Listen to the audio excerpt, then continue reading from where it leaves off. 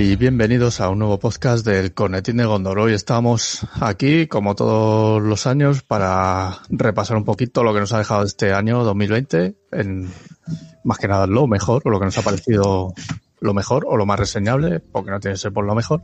Y en este año tan atípico nos hemos reunido aquí el jefe K, Hola, ¿qué tal? ¿Qué tal, Karim? Un placer verte y verte, porque en nuestra situación es lo que nos queda actualmente. No podemos hacerlo más que por online, lo cual es muy malo, muy pues triste. es lo que es lo que ha tocado este año. Sí. Y pues nada más que estoy yo ya, porque hemos tenido un montón de problemas no, no, este, este está siendo. Eh, eh, si se incorpora alguien más, será de, pura sorpresa, porque este ha sido el podcast imposible. Pero bueno, insisto, es, este podcast representa perfectamente lo que es el, el 2020, en, en toda su gran esencia. En fin. Efectivamente, éramos cuatro y hemos quedado dos. Así que nada, vamos a, repasar un poquito lo que ha sido el año en materia friki, básicamente, pero bueno, también entran otras cosas al final. Y si te parece bien, pues vas a empezar tú con tu primera recomendación. Bueno, pues a ver, esto es un típico tópico en, en, este, en esta época que estamos viviendo, pero creo que es necesario empezar haciendo mención eh, especialmente a la gente que ha hecho algo durante la pandemia, y, más concretamente durante los meses más duros de la pandemia eh, por la gente. Eh, no me refiero solamente a sanitario, no me refiero solamente a cajeras de supermercado, a mm, farmacéuticos o transportistas que, y que ya hicieron mucho y no lo niego, pero también hubo frikis que nos intentaron hacer llevadero el día a día. Y son gente que ha hecho cosas como muy tontas, pero que para mí creo que tienen un, un gran valor, eh, por lo menos personal. Por ejemplo, mm, me acuerdo de Cuarto de Juegos, eh, eh, que puso un vale de unos 35 euros para a fondo perdido, es decir, él, él, te, él te vendía, entre comillas, un juego de 35 euros para que pasaras el confinamiento y que ya se lo pagaras cuando pudieras. Me parece una cosa eh, que, hay, que, hay, que hay que decirla y que hay que honrarla. Por ejemplo, no me acuerdo, por ejemplo, también de, de, una cosplayer que se llama Mamá, bueno, la conocemos como Mamá Croqueta, se llama Rieta Prop, creo que es, que, que en el, en el en la esta de su casa, ¿cómo se llama esta? En la terraza de su casa, todos los días montaba, así disfrazaba de, de tiburón y todo el mundo, todos los días montaba un, un, pequeño espectáculo para que la gente se animara. Entonces también, también hay que darle las gracias, ya que, y es de lo mejor del año. Además, si vais a algún evento y la conocéis, es una persona encantadora. Y quiero también terminar, fritar a, a dos cosplayers, ¿no? Que, una es Masi, y otra es Alistrin, porque eh, aunque la iniciativa no suya, movieron mucho el tema este de felicitar a los niños eh, disfrazados de princesa Disney o con algún cosplay de algún, de algún personaje que les gustara, para que esos meses que pasaron en su cumpleaños tuvieran algo especial. Y me parece que es de, de también, como he dicho antes, de, de recibo el, el, el recordarlo. No sé a ti qué te parece. Es, decir, es, un poquito tonto y un poquito, eh, como dicen, como dice mi mujer, ñeflo, pero creo que hay que empezar por esto, porque, porque, porque creo que esto ha sido lo mejor del año. Es decir, de este año 2020 raro. Sí, totalmente. Yo lo tenía, tenía apuntado. Digo, bueno, como ya lo ibas a poner tú, pues así me reengancho. y, y es verdad. Yo ah, quizá no a, a un nivel así eh, más, mm, como has dicho tú, en personas, pero sí que me he enganchado mucho a canales de YouTube que han hecho cosas, a podcast, por ejemplo, me acuerdo que eh, días de juego estuvieron haciendo todos los días un día de cuarentena, o Don't Feed the Troll empezaron a emitir en, por YouTube y tal, y un, un, chico que he conocido que es periodista y se puso a jugar a Fútbol Manager y me puse a verle cómo juega todos los días ahí, su liga, tal. Al final me enganché yo me, y me puse a jugar también. Pero bueno, sí, con mi hijo también hemos visto un montón de, de cosas y la verdad es que sí, es un trabajo que han hecho y, y así desinteresadamente. Y bueno, también al final estás en casa y dices, bueno, pues si puedo hacerlo, pues lo hago. Sí, bueno, es decir, y no, por, no nos vamos a tirar flores a, a, nosotros mismos, pero nosotros también nos recomendaron nos pidieron también que en, la medida de lo posible aguantáramos con el blog, que además nosotros hemos tenido un que este año ha sido horrible por muchas partes, por muchas, por muchas cosas, porque nos pidieron que aguantáramos publicando mm, mm, eh, con normalidad para que la gente pues igual tuviera cosas, es decir, nos leerían más o nos leerían menos, pero publicando cosas pues, para que la gente se pudiera distraer un poco de la pandemia. Y tío, mm, bueno, tú no se te acuerdas, es que esto lo hablé con Limax y nos hackearon unos, unos chinos. y estuvimos, y estuvimos dos semanas o tres eh, con una cuenta que vendía componentes electrónicos. Y, fue como horrible además porque porque se tenían que acceder directamente por enlace. Bueno bueno bueno. Pero bueno eh, vamos a pasar el 2020 vamos a dar las gracias a esta gente. Y, y, como decíamos antes fuera de micro yo soy el primero para vacunarme de las tres vacunas si quieren. Vamos no tengo ningún problema pues habrá que estar ahí en la lista. bueno. Pues nada, yo voy a recomendar eh, series, como todos los años, siempre empiezo por series. Pues yo creo que hay que seguir eh, la tradición ya, ¿no? Y este año. es el año de las series. Este es el año sí, sí, No, es que hay un montón. Por eso yo voy a hacer trampa ya en mi primera entrada, voy a hacer trampa y voy a recomendar las series españolas de Movistar Plus. Así, porque digo, es que no sé cuál quedarme. Es que me han gustado las que he visto, porque las que hay alguna que no he visto, pero seguro que también es buena. Entonces, empiezo por La Unidad, que es una serie de, de Dani de la Torre y Alberto Marini, que se emitió, pues creo que sobre mayo más o menos, y te contaba el trabajo de una unidad de, de la policía en la lucha contra, contra el terrorismo islámico, por así decirlo, ¿no? Es un thriller policíaco y la verdad es que un despliegue de medios eh, pocas veces visto aquí, ¿no? Con, se desplazaban a, a, a África, se desplazaban a, a Gibraltar con buenas cámaras, buena fotografía, buenas interpretaciones. No sé, me ha parecido una muy buena serie. Que no sé si es miniserie o la van a continuar porque dijeron que estaba ahí la cosa que tenían material para una segunda temporada, pero que no sabía seguro. La siguiente es La línea invisible, que esta se estrenó antes, se estrenó en abril, y te contaba, eh, por así decir, el inicio de ETA. Esto sí es una miniserie cerrada de seis episodios, y te contaba cómo se forma ETA y hasta su primer asesinato. Y bueno, tenemos a Antonio de la Torre como como uno de los actores que se sale, Antonio de la Torre, que bueno, siempre se sale, y el otro es Alex Moner, que son los dos principales, que yo no le conocía y me ha gustado mucho. Y bueno, también sale Ana Castillo y algunos así, Patrick Criado, que son caras un poco más conocidas. Y, y no sé, me gustó también un montón. Y sobre todo una historia que no, no se conoce, porque el, el inicio yo no lo he vivido, pues no lo conocía, obviamente. Yo ya conocía más adelante. Yo, del, del qué, del tema de, ETA. yo, yo del tema, a ver, del tema de ETA, y sin meterme tampoco en, en, muchas cosas, supongo que tú eres de mi generación y tal, yo recuerdo de pequeño, es decir, yo tenía dos miedos por los que morir, que eran dos miedos como muy primarios que mm, decías tú por qué y uno era, que es muy absurdo, ¿vale? Me río, me río por, por no sé, por quitarle fue fuerza, no por quitarle peso al asunto, que era morir por un día que te, que te pusiera una bomba, pero creo que quién va a poner una bomba a un electricista y a un ese, pero bueno, te podía pillar. Era, era la meta. Y luego este era muy tonto, que era morir por SIDA, es decir, porque como fue el, el, año en el que empezaron también, en los años 80, fue con, ¿Qué pasó? Pues era de eso. Yo, yo me acuerdo un poco de eso, pero no, yo tampoco lo viví en ese aspecto. Yo me acuerdo cuando iba a Madrid con mi padre, como mi padre vivía a Madrid, que ahí sí lo pensaba más, ¿no? Decía, mira, aquí mataron a no sé quién, aquí no sé qué, decía, joder, más rollo, claro. Yo, cuando vivía en Móstoles, pues no, no había problema, ahí en Móstoles no pasaba nada.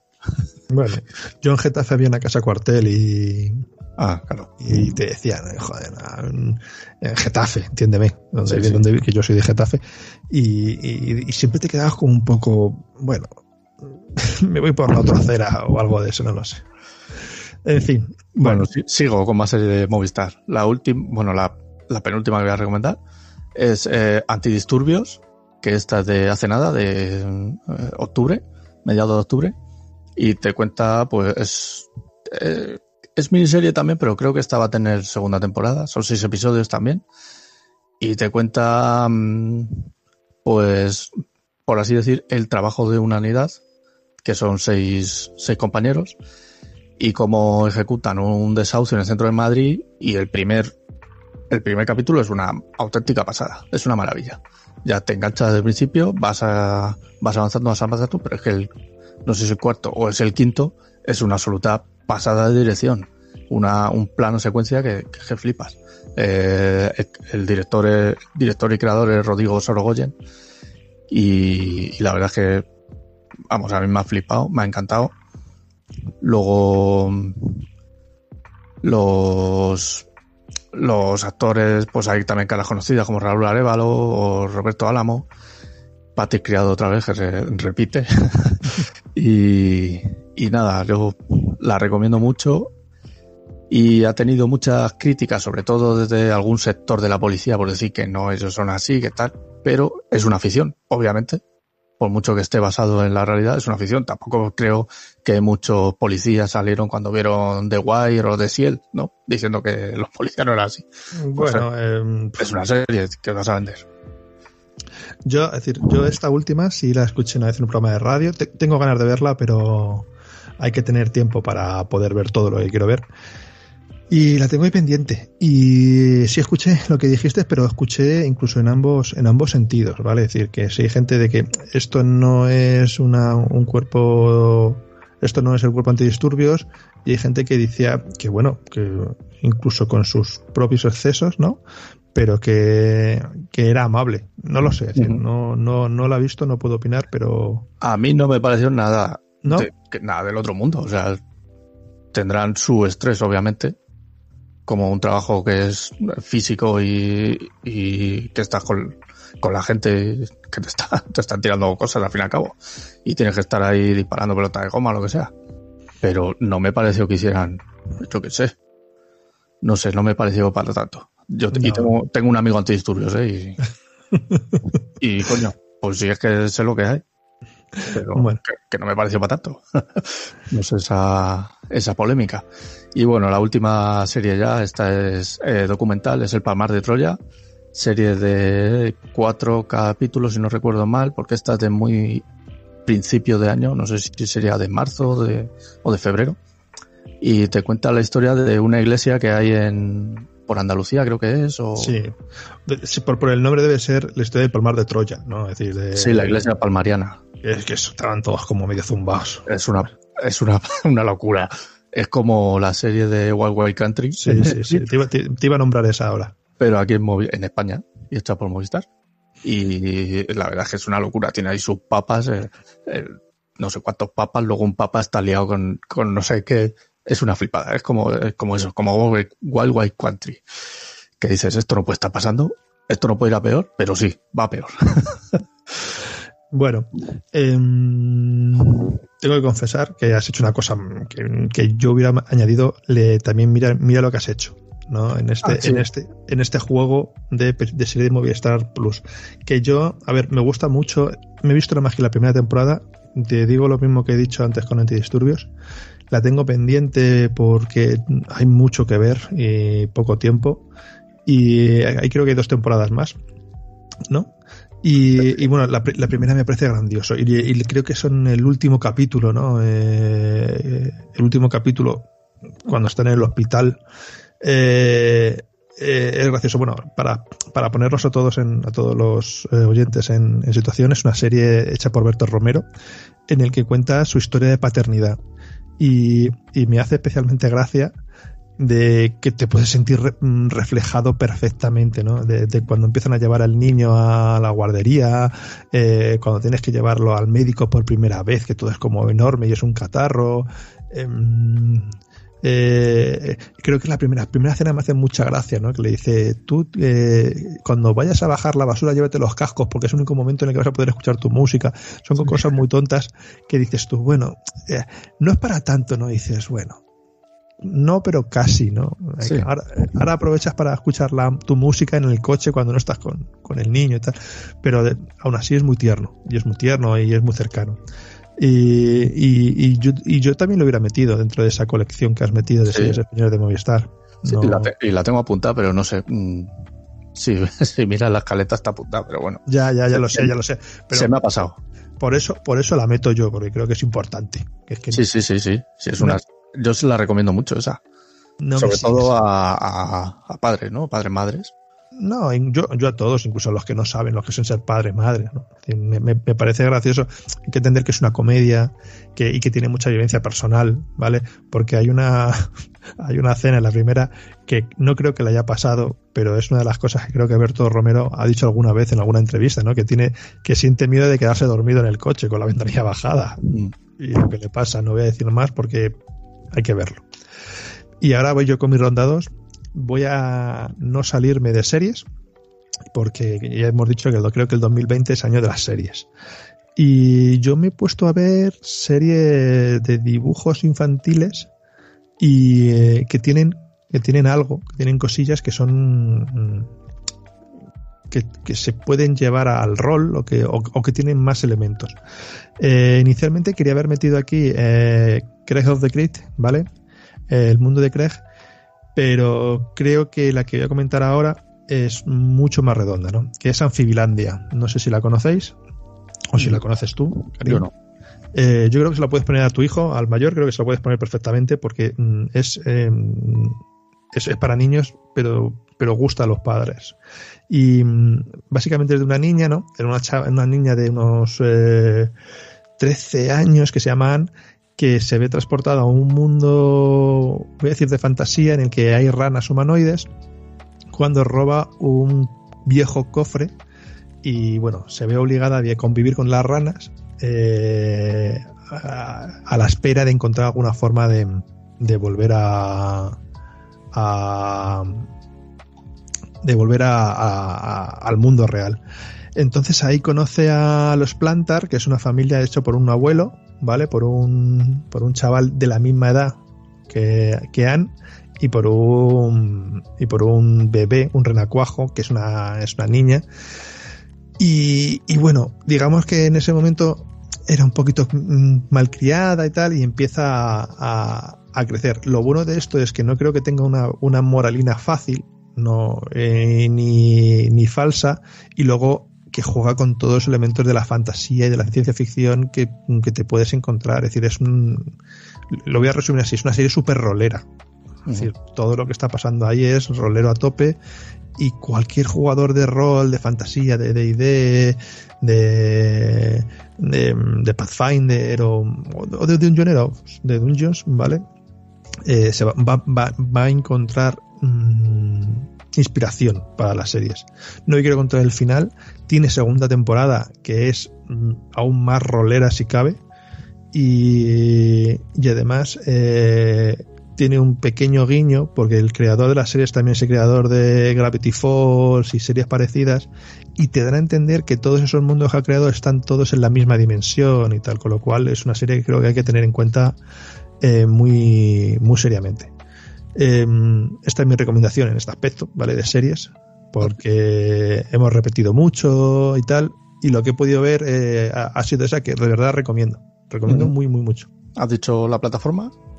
Eh, la plataforma es una plataforma que todavía no nos, em, no nos patrocina, porque Movistar Plus, quiero que sepan que sí nos ayuda, muy gracias, gracias Movistar Plus, sí nos ayuda un poquito, un poquito, ¿eh?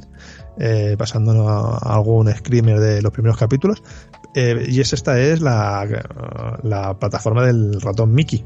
Mm, ¿Vale? Plus. ¿Vale? Disney, Plus o Disney Plus. Disney Plus, Plus, porque. Plaska. Plaska. Así que, que bueno, esta es mi apuesta. Algo, algo bueno tiene Disney Plus al final. Oye, no, no, no, es decir, a ver, mm, mm, para yo creo que la gente sabrá qué día lo estamos grabando con lo que voy a decir ahora. Eh, ayer mismo creo que Disney Plus em, pegó un bombazo con las novedades que van a venir, porque mm, en general mucha gente decía que sin novedades y sin nada de eso se iba a quitar de Disney de Disney Plus. Por, porque es eso, es decir, mientras que mm, eh, Netflix o, o Movistar Plus siguen teniendo novedades y las publican y, tienen mucha rotación. Eh, yo llegaba a un momento en el que es que, mm, como he dicho, me estaba viendo Pato Aventuras, ¿vale? Pero Pato Aventuras, la, la Sí, han cancelado la tercera. Dicen que la van a cerrar y que van a hacer una película de cierre y tal. Veamos. A, a mí no. A mí no me importa que las cosas se acaben. Lo que quiero es que se acaben bien. Sí. Y, es- y cuando se cancelan, Que tengan un final, por lo menos digno. Digno, exactamente.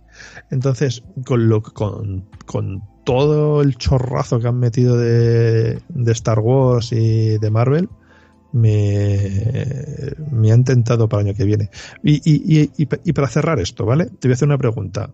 Disney Plus, ¿por qué te quedarías? ¿Por la parte de Marvel o por la parte de Star Wars? Y no vale decir las dos, hay que escoger una. Yo lo tengo fácil, yo la de Marvel. Ah, vale. Sí, yo ni he visto el Mandaloriano, o sea que imagínate. ¿No has visto The Mandalorian? Por favor. No, Yo, yo tengo que decir que No me he dicho- no he dicho que no quiera verla, ¿eh? no la he visto todavía. Yo tengo que decirte que me motiva mucho más actualmente eh, la parte de Star Wars. No sé por qué, pero me motiva bastante más. Y no digo, y no digo que la parte de Marvel sea mala, ¿eh? Digo No, no. que mm, lo que me ha llenado es eso. Es lo mismo que digo yo. Yo no digo que Star Wars sea malo, pero claro, yo soy fan de Marvel de toda la vida. Entonces, si fuera fan de Star Wars, que no lo soy, soy, me gustan sus películas y tal. Algunas no me gustan, otras sí, y ya está. No soy fan ni, ni nada. Me gusta como ciencia ficción, pues ya está. Bueno, venga, te cedo el turno.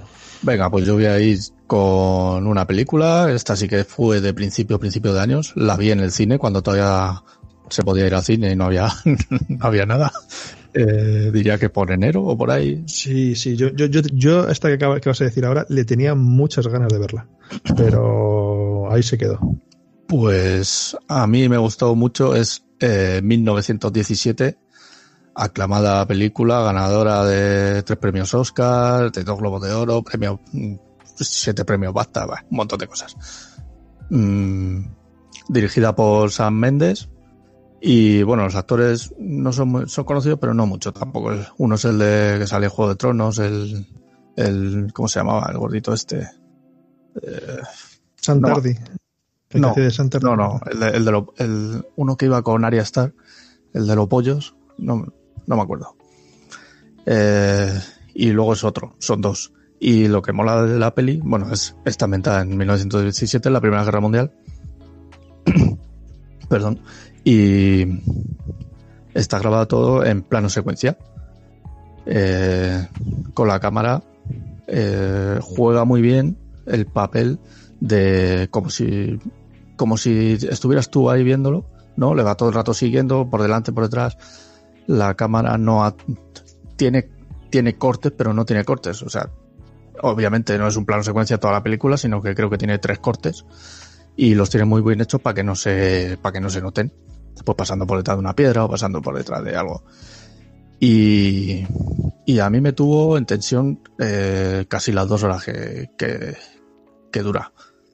Y tampoco creo que descubra nada del otro mundo, pero solo por cómo está grabada, eh, la fotografía, creo que merece mucho la pena verla. Y bueno, es- la historia es una, al fin y al cabo, es una carrera contra reloj en la que deben atravesar el territorio enemigo, ir de A a B y, y punto, ya está. Sí, que, que decir que la historia, sin ser mala, lo importante de aquí es cómo se ha contado la historia. ¿no? Ese- ese- Sí. ese- este. Sí. Yo, yo en este caso eh, me, me quedé con ganas de verla eh, por- porque pensé que tendríamos más tiempo, la verdad.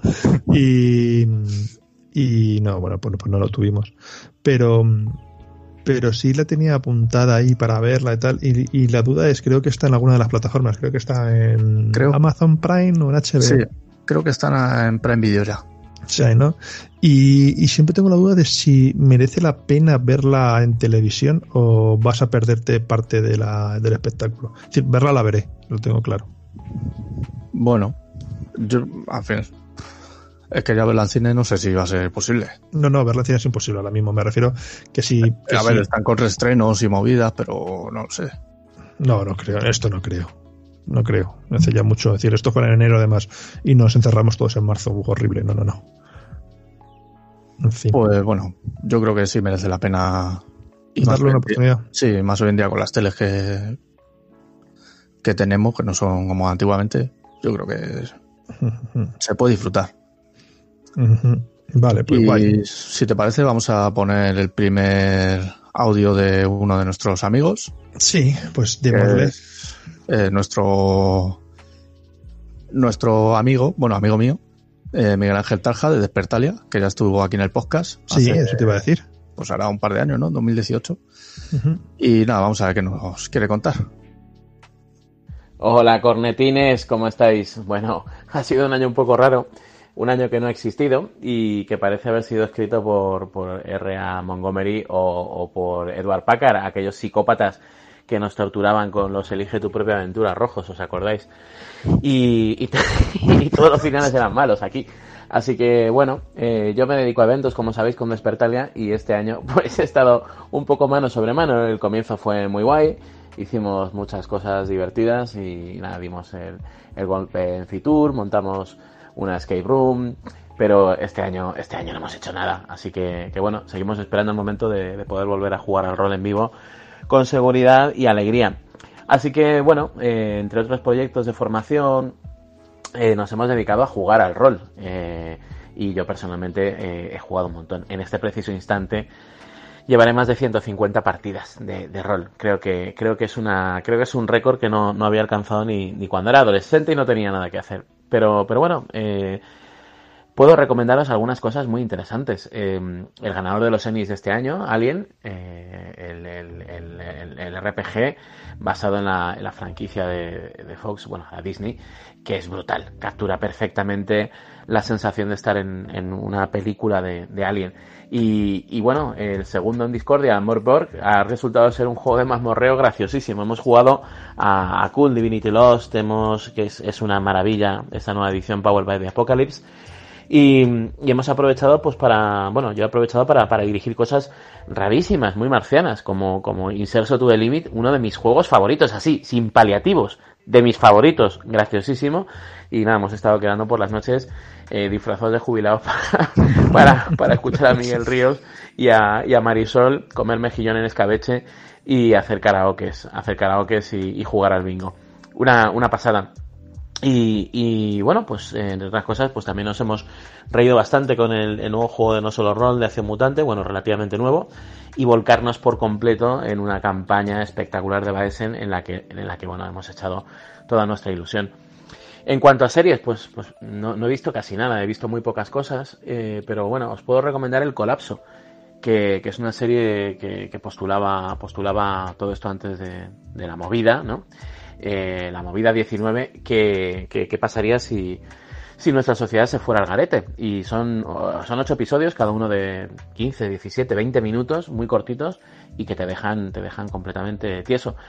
Admito, admito mi desconocimiento, eh, eh, en, bueno, que no, no sabía, no sabía nada de, de una serie que, que, se llamaba eh, se llama Inside Number 9, que es de eh, Shearsmith y de Steve Pemberton, dos genios absolutos, dos auténticos eh, magos de la interpretación que tienen ahí unas cuantas temporadas y, aquí no ha llegado a España, la gente no ha hablado de ello y son historias de son historias de, humor negro con un, con un giro. Y, nada, en eso nos hemos eh, eh, aplicado. También hemos jugado a, juegos de mesa, le hemos dado caña al Fog of Love, a juegos narrativos, al, al Arkham Horror LCG y, nada, disfrutándolo mucho. ¿Qué queréis que os diga? El año que viene será más variado. que, que Talja no es aburrido, ¿eh? No, no, no. La va bien. Y a mí me, me consta que la dado. y sobre todo el juego de Licesos y les he visto más de una vez ahí liados. Que Talja no es aburrido. Que decía él que sí, yo ya tenía localizado el, el Alien RPG.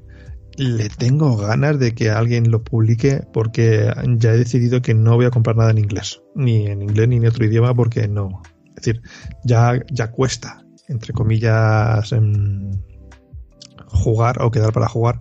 Imagínate encima quedar para jugar a un juego en inglés, entendamos, mm. dentro de mi círculo.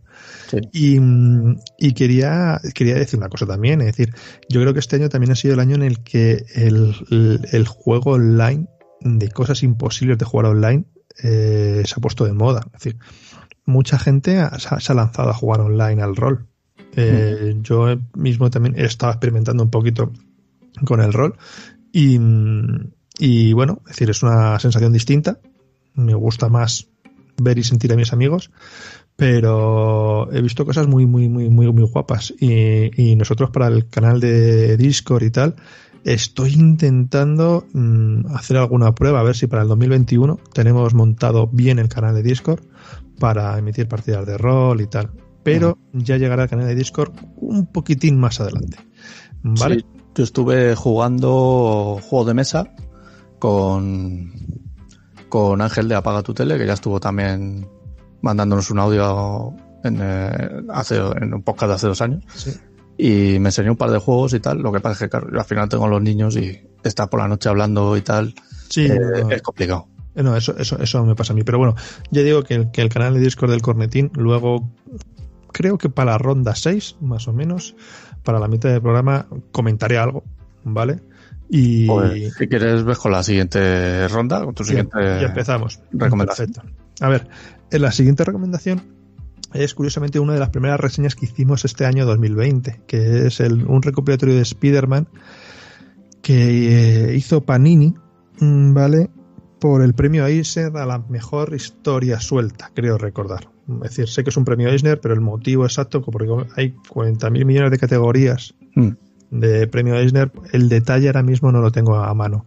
Y, mm, y eh, a ver, es un cómic que he recomendado mucho para gente que quiera leer algo, algo de Spider-Man, sin llegar a la necesidad de leerse grandes sagas ni volúmenes muy grandes.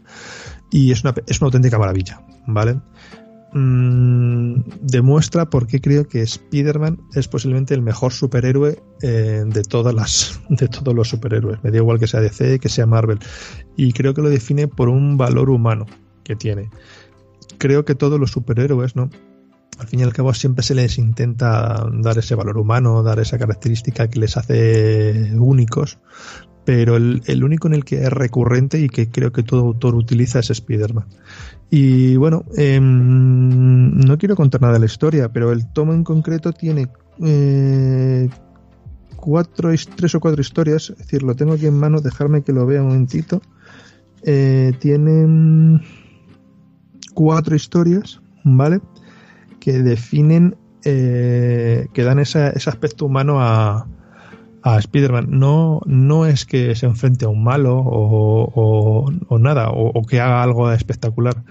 Simplemente mm, son historias. Es que creo que lo voy a decir, ¿no? Porque es que si desvelo algo de alguna, no va a llegar tan fácilmente. Son historias, pues, em, se basan un poquito en, en esa historia que ya se hizo hace mucho tiempo, ¿no? De que Spider-Man visitaba a un, un chaval que un, un, un chavalito, un jovencito que iba a morir y, al final acaba descubriéndole que, que Spider-Man es Peter Parker. ¿no? Y, pues con esa misma filosofía se han cogido tres historias más y se han juntado en este tomo. Eh, una maravilla, ¿vale? De verdad, decir, es imposible que no se te caiga una lagrimilla si, si no tienes mm, roto el corazón. Es decir, es, es, es, buenísimo. La única cosa que he hecho de menos en este tomo es eh, el número especial que dedicó Straczynski por las, por las hojas, por la caída de las Torres Gemelas. Que creo que este año hubiera estado muy bien también recordar ese, ese tomo porque mm, básicamente Straczynski lo que le decía era que, y a raíz, y enlazándolo un poco con lo que decía al principio, que los héroes eh, ese día fueron pues mm, policías, enfermeros, eh, mm. bomberos, etcétera, etcétera. Y un poquito es el único número que yo hubiera también incluido en el este. Pero bueno, mm, una maravilla, ¿vale? Mm, lo recomiendo mucho. Eh, no tiene un título como tal, se llama Spider-Man, premio en la mejor historieta y otros, y otros grandes relatos arácnidos. Buscarlo no es difícil de encontrar y, eh, y, está muy, muy, muy, muy bien. Pues yo me lo voy a apuntar porque no, no lo he leído. Y bueno, este año he leído mucho cómic, pero he leído cosas que tenía pendientes antiguas.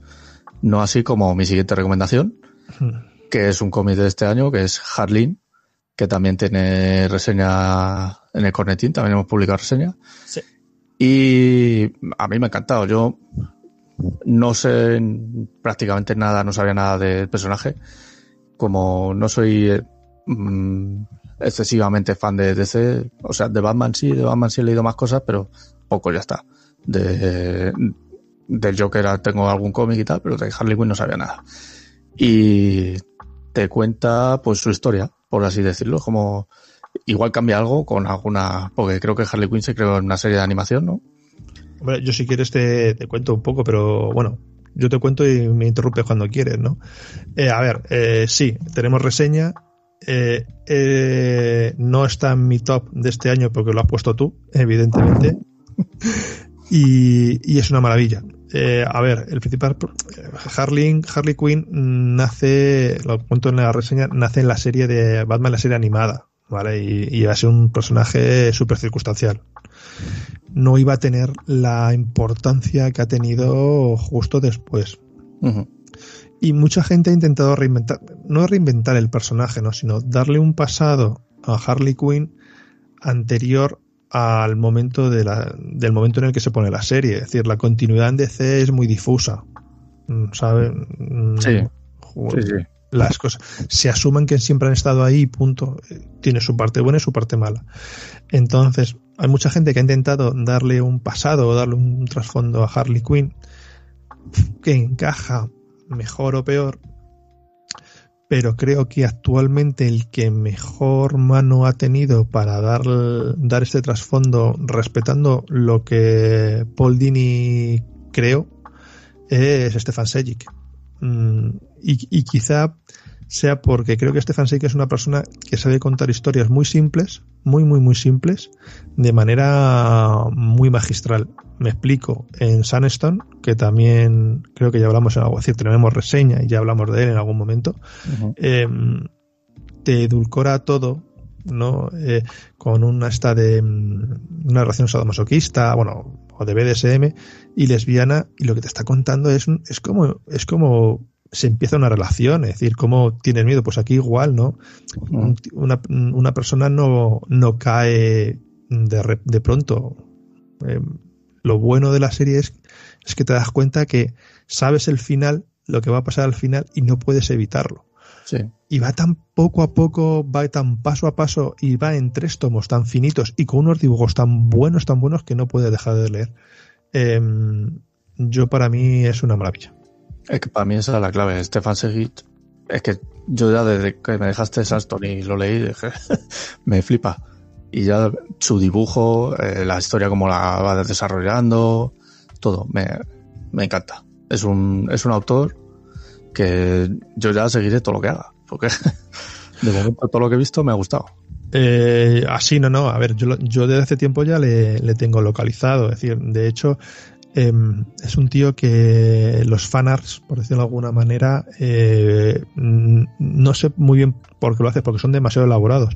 Tiene ahora mismo un fanart entre Lara Croft y Wonder Woman, que yo por la por el Twitter del Cornetín lo he compartido mucho, que es, tiene cuatro imágenes y sabes que esas cuatro imágenes son una aventura, es decir, son una historieta y que esa historieta se tiene que contar. Es decir, yo le pido por favor que siga por ahí. Em, eh, no no sé qué más decir. Em, ya te digo que, a- a- que, est- que, Stefan juega mucho con lo que te estoy contando, te lo disfrazo de, de otra cosa. Pero para que entiendas, entonces, creo que tanto en Sunstone como en, en, en Harleen mm, juega eso. No sé, no sé qué te parece. Sí, sí, totalmente. Son, son muy parecidas en ese aspecto. Y bueno, decir que Harleen está publicado por ECC y creo que empezó en, en agosto, ¿no?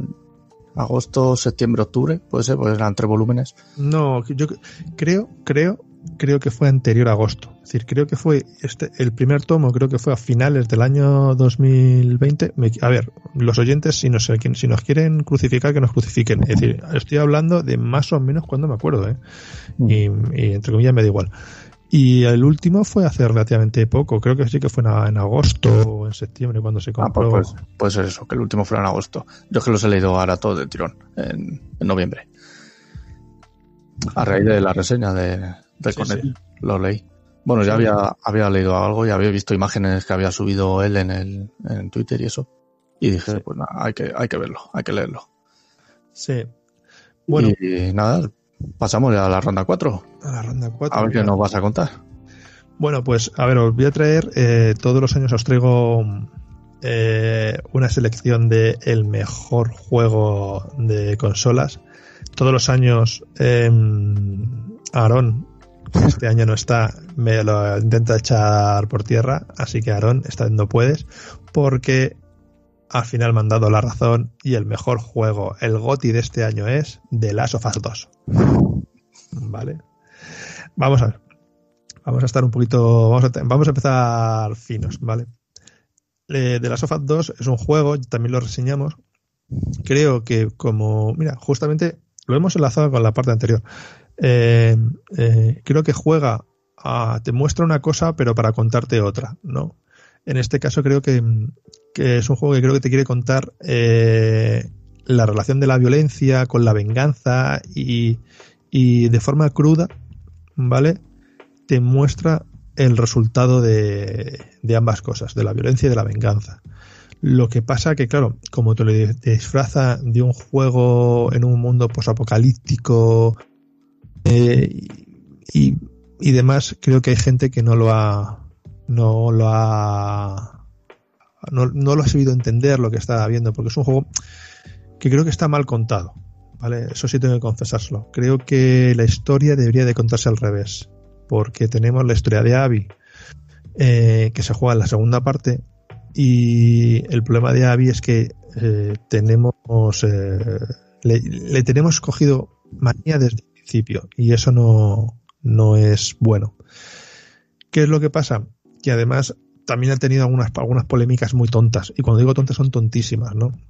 Porque, por ejemplo, eh, se estuvo diciendo que tenía eh, la relación de, de, del primer personaje y era, era de Ellie, ¿vale? Era, era lesbiana y que, y que estaba forzado, o que había, o, que, la presión de un transexual, cuando la verdad eh, creo que sin, sin darle más Paulo, creo que está bien muy bien encajado y que no pasa nada con la, con la serie y, y merece la pena jugarlo. Eh, ¿Cuál es el problema? Insisto, creo que el orden en el que se juega. Creo que debíamos haber jugado primero con Abby, conocer a Abby, encariñarnos con Abby y después, justo a la mitad, eh, ver lo que hizo Abby. Y ver que lo que hizo Abby no estaba bien del todo. Es decir, de dónde provenía Abby y conocer entonces la parte de, de Ellie. Y bueno, esto es de las of 2, más o menos. Yo la verdad es que no, no juego ni al 1 ni al 2. El 1 lo tengo. Lo, lo, dieron con el Plus, pero como ahora no tengo el Plus, no lo he podido jugar. Y sí que lo, los quiero jugar los dos, obviamente. Porque aparte de que todo el mundo lo recomienda, mm, me interesa la, lo que lo que cuenta la historia y tal. A ver, ya te digo, es decir, eh, juegan a contar, es decir, el primero es una historia de paternidad, de paternidad rota, si lo queremos llamar, ¿no? Uh -huh. y, el, y el segundo es una historia de venganza, pero de venganza y entender los efectos de la venganza. No, no quiero decir nada, porque amba, ambos personajes, ¿no? Ellie y, y Abby buscan, buscan vengarse y te das cuenta que el resultado final de tu venganza no te trae la no te trae, no, no te trae la satisfacción que tú vas a crear. Es decir al final ambos personajes quedan destruidos por, por, por, las acciones que ellos han empezado. Es decir no la culpa no es de los demás. No quiero decir más vale que me enrolla mucho y, y no es bueno seguro que el juego lo merece pues nada pues yo con mi recomendación vamos a seguir con series y con series españolas en este caso no son de Movistar, porque si no las habría mencionado antes. Y las series son Patria, miniserie de HBO, de adapta el libro de la novela de Fernando Aramburu, del mismo nombre. Y te cuenta, pues, la historia de dos familias en un pueblo vasco y la relación, por así decir, con ETA, más o menos. La historia arranca con el cese de, con el anuncio del cese de, de la actividad de ETA y te va contando en el presente y el pasado y va viajando ¿no? en el tiempo. Y a mí el libro me encantó en su día y la serie me, me ha encantado también. La verdad es que está muy bien adaptada quizá algún actor mm, no está ah, tan bien como las dos actrices principales que están eh, que se salen y te representa muy bien lo que debían sentir las familias ¿no? en, ese contexto. Yo nunca viví en, el País Vasco y, y, yo, pues como hemos contado antes, yo tenía lo que se vivía pues en Madrid, ¿no? el, miedo de aquí. Pero claro, lo que viven la gente de allí, lo que puede pensar gente que esté a favor o gente que esté en contra o gente que lo viva en su propia familia, pues son puntos de vista que yo creo que está bien contarlos y, creo que los cuenta sin posicionarse, ¿no? Sin, sin decir estoy a favor de esto o estoy a favor del otro. Yo me acuerdo de esta serie que al principio cuando la, la HBO empezó con su promoción, ¿no? Mucha gente se, se enfadaba, ¿no? Porque había, había una imagen, ¿no? De lo que parece que era una etarra, ¿no? Desnudo y maniatado en el suelo, ¿no? Mientras que había unos policías atrás. Y hubo mucha gente que decía que, eh, que eso equiparaba a las víctimas, ¿no? Porque es que creo que la otra imagen era.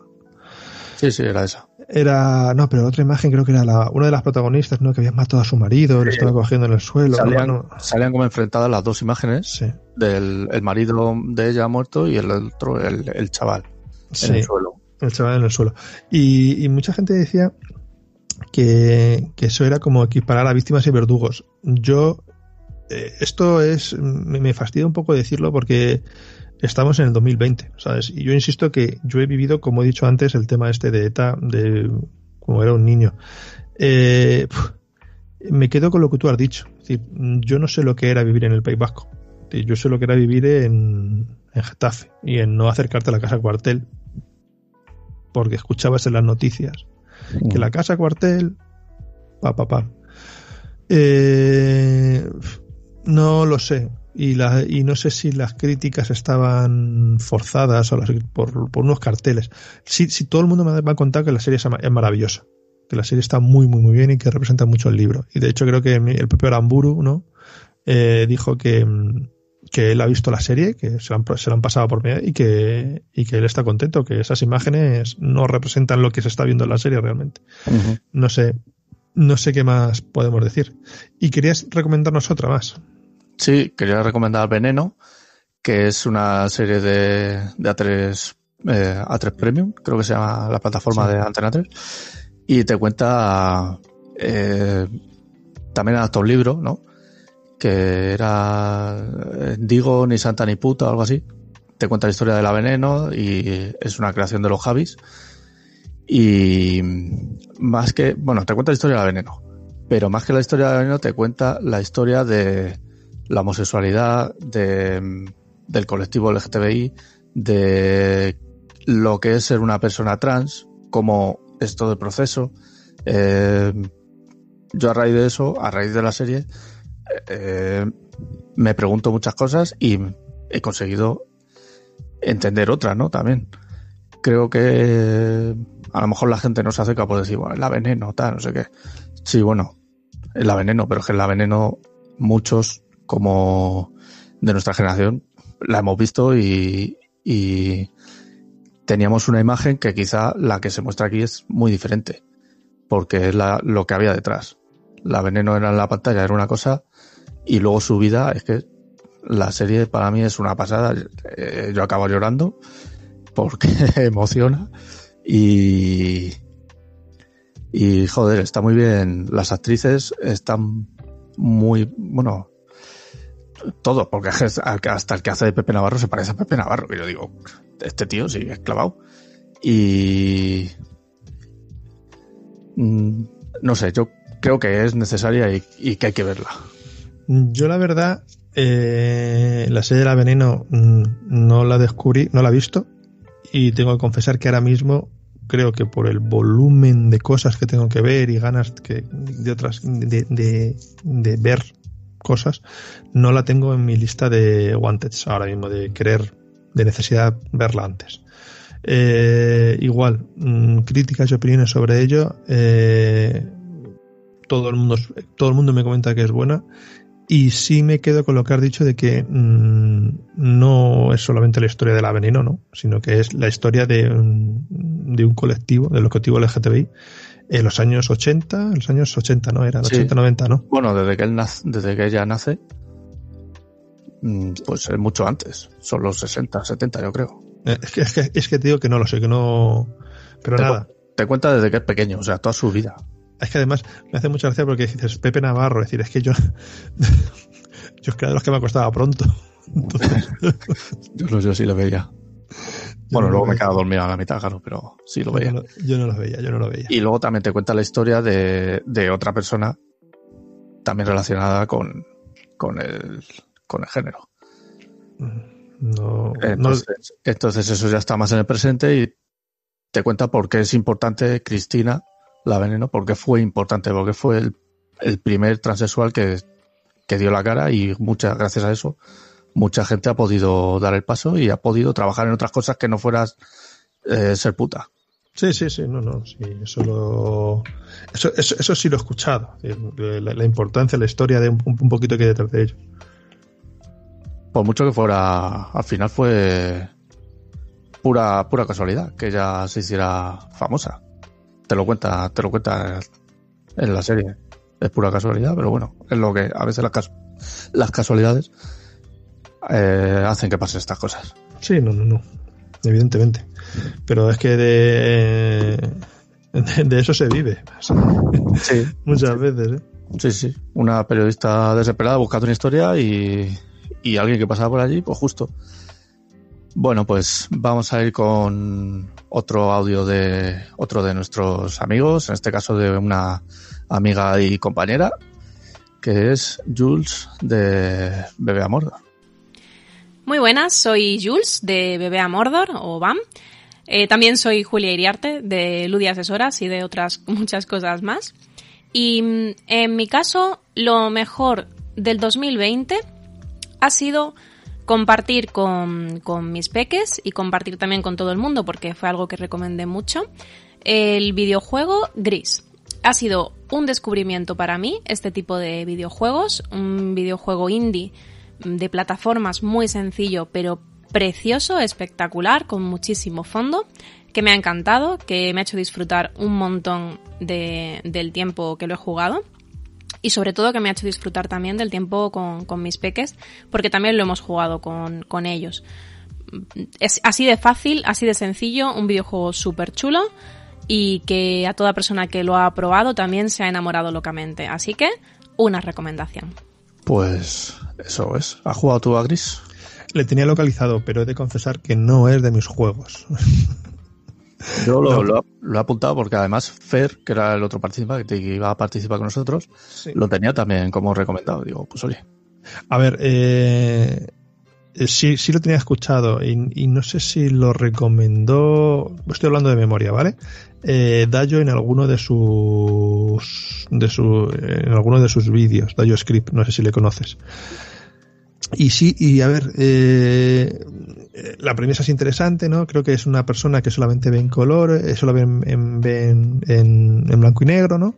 Y que, o en grises, y que va recogiendo los colores, ¿no? Va, va eh, cogiendo colores y puede hacer más cosas, etcétera, a raíz de, mm, de que va avanzando en la historia. Uh -huh. eh, me pasa como con las series. Eh, mm, tengo el tiempo muy limitado y, y hay que elegir dejar algo.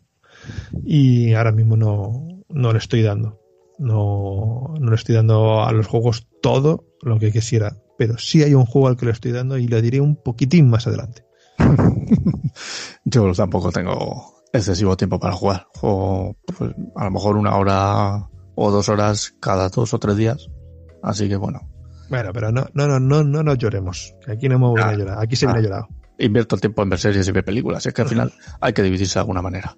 Exactamente. Pues nada, recomiéndanos tu re siguiente recomendación. Bien, tenía ganas de llegar a esta, que no es la número 6, que es la número 5, porque es el reencuentro con los fantasmas de Gaun. La gente que me conoce, eh, a ver, yo en casi todos los juegos, en casi todos los mundos, etcétera, me fijo mucho en el trasfondo. Y a ver, Warhammer 40.000, mmm, pese a que a todos nos pese mucho que sea de la Games, con todo lo que ello implica de la Games, que tiene cosas buenas y cosas malas.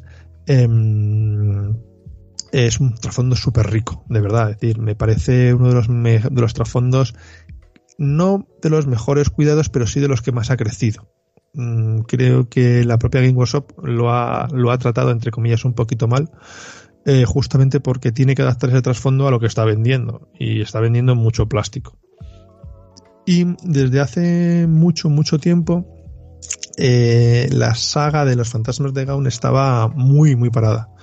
Nos quedamos hace 5 o 6 años, ¿vale? Mm, parados, con que nuestro comisario imperial favorito eh, estaba perdido en mitad de la nada de, un viaje espacial y nadie sabía lo que, lo que había pasado.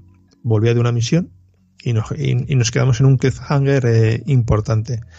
Pues hará en el 2019 ¿vale? Eh, creo recordar, porque además creo que hicimos reseña también, eh, se, publicó en España eh, Señor de la Guerra, que era la vuelta a la literatura de, de Ibrahim Gaun y sus fantasmas.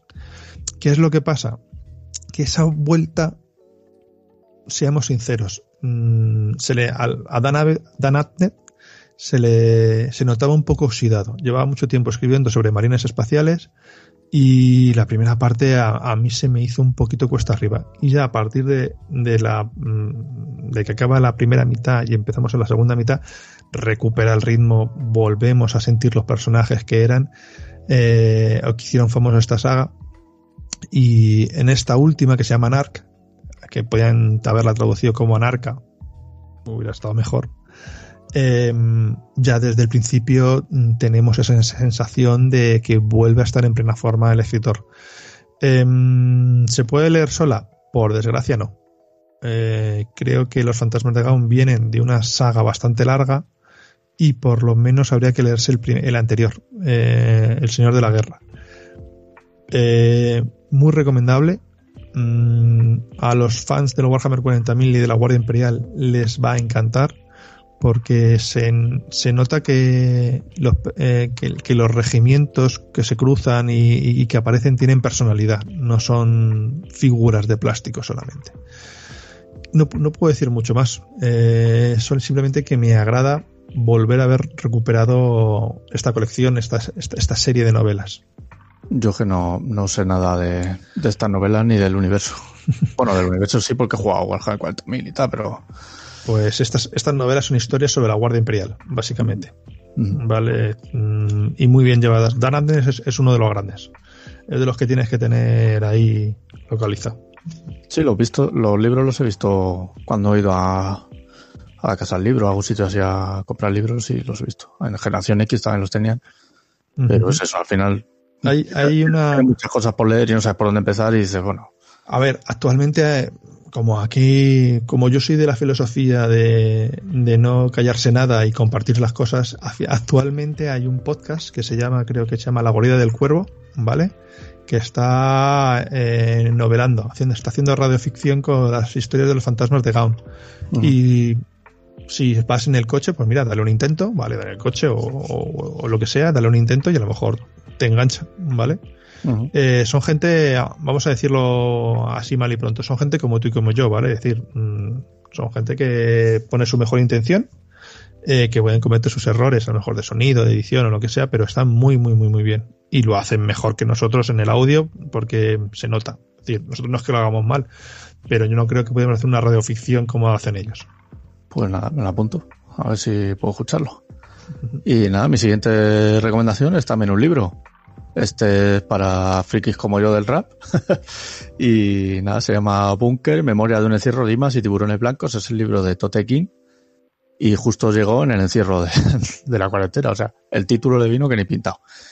Y me ha gustado mucho porque, aparte de contarte su historia, te cuenta pues historia de sus canciones, historia de, de sus conciertos, también te cuenta cosas de, de su vida, pero como, no sé, como sus relaciones con, con otros artistas, con, con su familia, con otros escritores de, de libros o de otros ámbitos. Y mm, al principio tenía cosas de decir, a ver si solo me va a contar cosas de canciones o cosas de, de sus discos y, y no me llamaba tan mucha atención, pero luego me lo recomendó de nuevo mi amigo Ángel de Apaga tu Radio y, dije, pues nada, me lo voy a, me lo voy a comprar y, y me lo leí súper rápido. Eh, me lo compré en formato físico, que es algo que últimamente no hacía, y he de decir que es de la editorial Blacky Books, que es una editorial que he descubierto este año y ya me he leído tres o cuatro libros suyos en físico y me, me encanta eh, esta editorial y el formato, cómo saca los libros, la calidad con la que los hace y vamos, que voy a seguir eh, a esta editorial y voy a seguir buscando sus cosillas porque me ha encantado. Y, y del libro poco más, o sea, si no te gusta el rap, te puede gustar el libro, te puede gustar, pero al final te cuenta cosas que es más interesante para alguien que le conoce. Bueno, a mí me hace mucha gracia porque es que dices de rap, me, me, me, viene a la cabeza un, un, una serie de WhatsApp que, que mandamos, eh, de estos que cuando estamos aburridos de la redacción, ¿no? Y llegamos a la conclusión de que yo escucho viejunismo moderno y tú escuchabas eh, rap eh, y trap y digo, mira, tú y yo en un, en un viaje en coche largo tiene que ser unas risas eh, y, y, el disco que se tiene que hacer ahí. Además, Totequín salía entre el, el, artista más escuchado por mí en Spotify. Sí, sí, sí, ¿no? Y, y a mí salía, y, bueno, no lo hago conscientemente, o sea, tú sabes que te va, tú le das ahí aleatorio y te va saliendo, pero bueno. Sí, sí, sí, sí. No, no, sí lo, sí lo sé, pero vamos, me, a mí me hacía gracia la diferencia. Y a mí que en Spotify más se me lea de Who, que es un grupo de rock eh, de, de Mongolia, que, como decir, tiene que ser la hostia eh, hablar entre nosotros. Un, un viaje largo. En fin. Oye, y este año, como solo somos dos, si te parece, en vez de hacer cortes, como hacemos todos los años, lo hacemos todo del tirón. Hombre, no, vamos, si eso ya estamos, eh, estamos on fire ahora mismo. Así que, eh, si te parece bien. Llegamos a la, a la ronda 6, que es la que quería llegar yo, porque sí, aquí sí. es la mitad, más o menos, ya hemos pasado al Ecuador.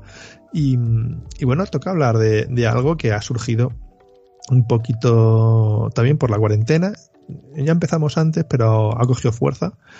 Y, eh, y, es la, yo, yo la llamo la, la Liga Interblogs porque la persona que puso el nombre original de la liga es imposible de acordarse, ¿no? Que es la Liga de Blood Bowl, Cero en Cordura, eh, PSN Cornetines o PSN Cero en Cordura Cornetines. Es decir, es la Liga Interblogs. Yo la llamo así, que queda más chula y, y, y todo el mundo se va a enterar. Es una liga online eh, que estamos haciendo de Blood Bowl 2 entre la gente de Crónicas PSN cero en cordura y el cornetín. El cornetín ha tenido que tirar de fichar extranjeros, ¿vale? fichar dos amigos míos que, que inicialmente, bueno, Javi, Javi juega, juega, bueno, Javi, Javi Castillo, que juega con juega con Halflings y, y el cornetín, y luego un amigo mío eh, que juega Chaos también, y no, y no es del blog. Y bueno, pues es una liga de Blood.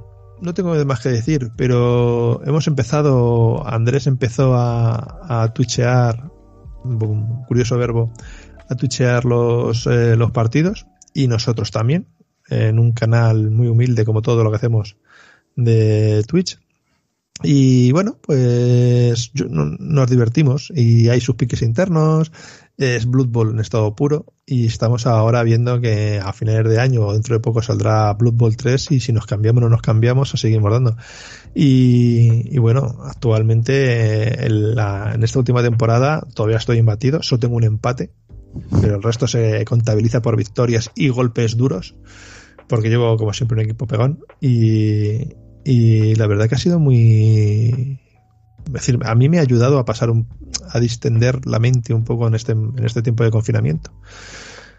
Y quería decir que, bueno, que vamos a, voy a seguir dándole un poquito de caña a la parte de Twitch, eh, según vaya jugando partidos o vaya jugando partidas cortas y tal.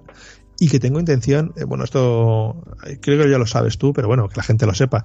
Intentaré emitir, hacer partidas de rol online, emitirlas por, por el canal de Twitch. Eh, a ver cómo salen, a ver lo que se puede hacer, porque todavía estamos un poco terminando de configurarlo y de montarlo. Pues sí, yo la verdad es que os he visto algún partido. A ti y a Andrés también le estuve viendo en su canal. Andrés le estuve viendo, creo que jugó contra ti. Le vi jugar contra Javi también. Y bueno, yo para no saber nada de Blue Ball y tal, pues estuve ahí un ratillo entretenido Como te digo, también era cuando más o menos no se podía salir mucho a la calle y tal, y, y tirando pues de Twitch, o de lo que se podía, pues te, te tenías un ratillo ahí con el móvil. Y sí, está guay la, la liga y con el cornetín pues tiene que, tiene que ganar. Eso es así. No, tío. No, no. La, la liga anterior la, se la llevó Crónicas PSN con. Blay. Eh, y, y fue y, y muy mal, muy malamente, ¿no? Pero lo importante de aquí, de esto, es que Andrés Palomino no ganó la liga. Porque si Andrés Palomino gana una liga de Blue Ball en el año 2020, malos presagios. Malos presagios, malos presagios. Una buena noticia. pues nada, yo voy a seguir con series. Porque si es que si algo se ha hecho este año, como bien hemos dicho antes, era ver series. Y quiero destacar, aunque es una mala noticia, porque son series que han acabado ya sus últimas temporadas. Son series que para mí son muy buenas y que algunas me han acompañado mucho tiempo, muchos años, y otras pues han sido más cortitas y me han acompañado menos años. Pero todas son de, para mí, excelente calidad. La primera, Mr. Robot, la serie de San Ismail, que aquí se puede ver en Movistar, no sé si es Movistar Series o Serie Manía, una de las dos. Es una serie de USA Network inicialmente y tiene como principal actor a Rami Malek, que es el que luego hizo la, la peli de Queen. También sale Christian Slater y, y bueno, y más gente. La que ha terminado este año es la cuarta temporada, que ha sido la última, en total han sido 46 episodios, y te cuenta la historia de Elliot Anderson, que es Rami Malek, que es un joven programador, pero que está tiene muchos problemas sociales, de relaciones sociales, está, parece que está un poco ido de la cabeza y, y por la noche es un justiciero, ¿no? Pero un hacker. y quizás su peor temporada es la segunda, que es donde mucha gente se bajó, porque la primera fue muy, muy, muy, muy buena, fue muy premiada. La segunda a mí me gustó, tiene un... Todas las temporadas tienen un episodio que es eh, brutal, ¿no? Y la segunda era una ira de olla, muy, muy ira de olla. En, la, en esta temporada es un, un episodio que, si no recuerdo mal, es un episodio mudo. Solo dicen una palabra en el primer segundo y en el último segundo. Y es, el episodio es todo mudo. Y es flipante. Eh, la había echado mucho de menos y, y ya seguido a San Email otras cosas que ha ido haciendo y, y el sello de calidad está ahí. O sea que es un creador que voy a seguir viendo. La siguiente Homeland, que has, ha sido su octava temporada este año. En total han sido 96 episodios y bueno, Homeland empezó, ya le hice también reseña en, en el blog y empezó siendo mm, eh, una adaptación de una serie israelí y fue muy, muy, muy premiada como, como Mr. Robot en su primera temporada. Luego la segunda y la tercera eh, naufragaban un poquillo. A mí me, a mí me, me interesaban. Si es cierto que la tercera eh, puede ser la peor de todas.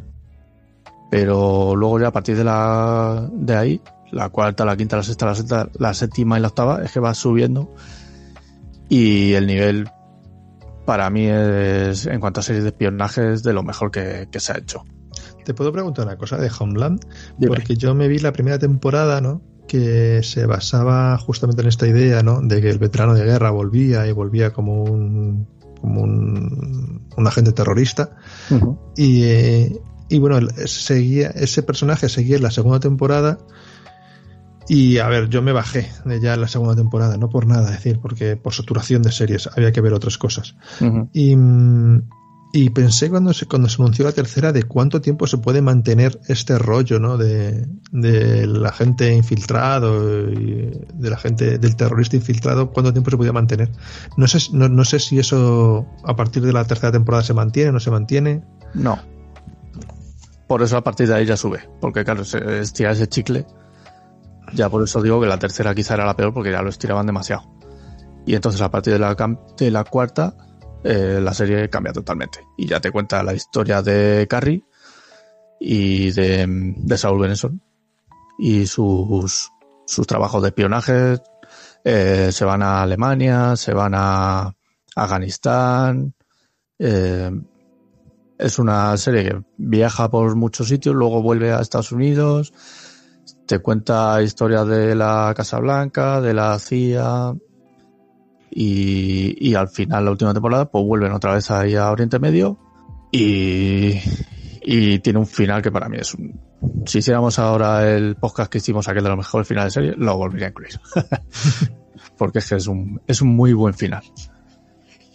La siguiente serie que ha terminado es la serie Dark de Netflix, que es una serie alemana de ciencia ficción, de viajes en el tiempo, de, de, de, comerte la cabeza con tanto personaje y tanto viaje en el tiempo y sobre todo mmm, nombres alemanes, que al final era, decías, a ver, cara alemana, nombre alemán, es lo que más costaba.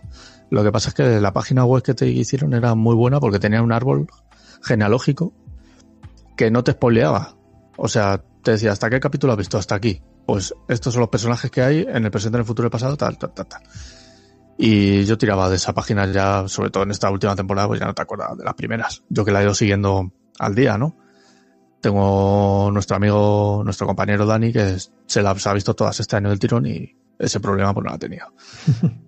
y bueno, es eso, no te cuenta, no te cuenta otra cosa, son viajes en el tiempo donde hay, por así decirlo, el bien y el mal y se basa todo en, en, en cuatro familias al final están entremezcladas y, y, y que es una paranoia. es súper chunga. Y otra más de Movistar, que es Kidding, la serie de Jim Carrey. Mm, buenísima, buenísima actuación de Jim Carrey. Y esta ha sido dos temporadas, ha sido cancelada. Eh, son, han sido 20 episodios y te cuentan la historia de Jeff, que es conocido como Mr. Pickle, ¿no? Que es un, como un icono de la televisión infantil, casi come arnetas y, y tal, pero su vida, como decíamos antes con la veneno, ¿no? Su vida en las pantallas es como muy happy, muy feliz, pero su vida real es todo lo contrario. O sea, eh, es un hombre muy bueno, muy infantil en un mundo eh, cruel, ¿no?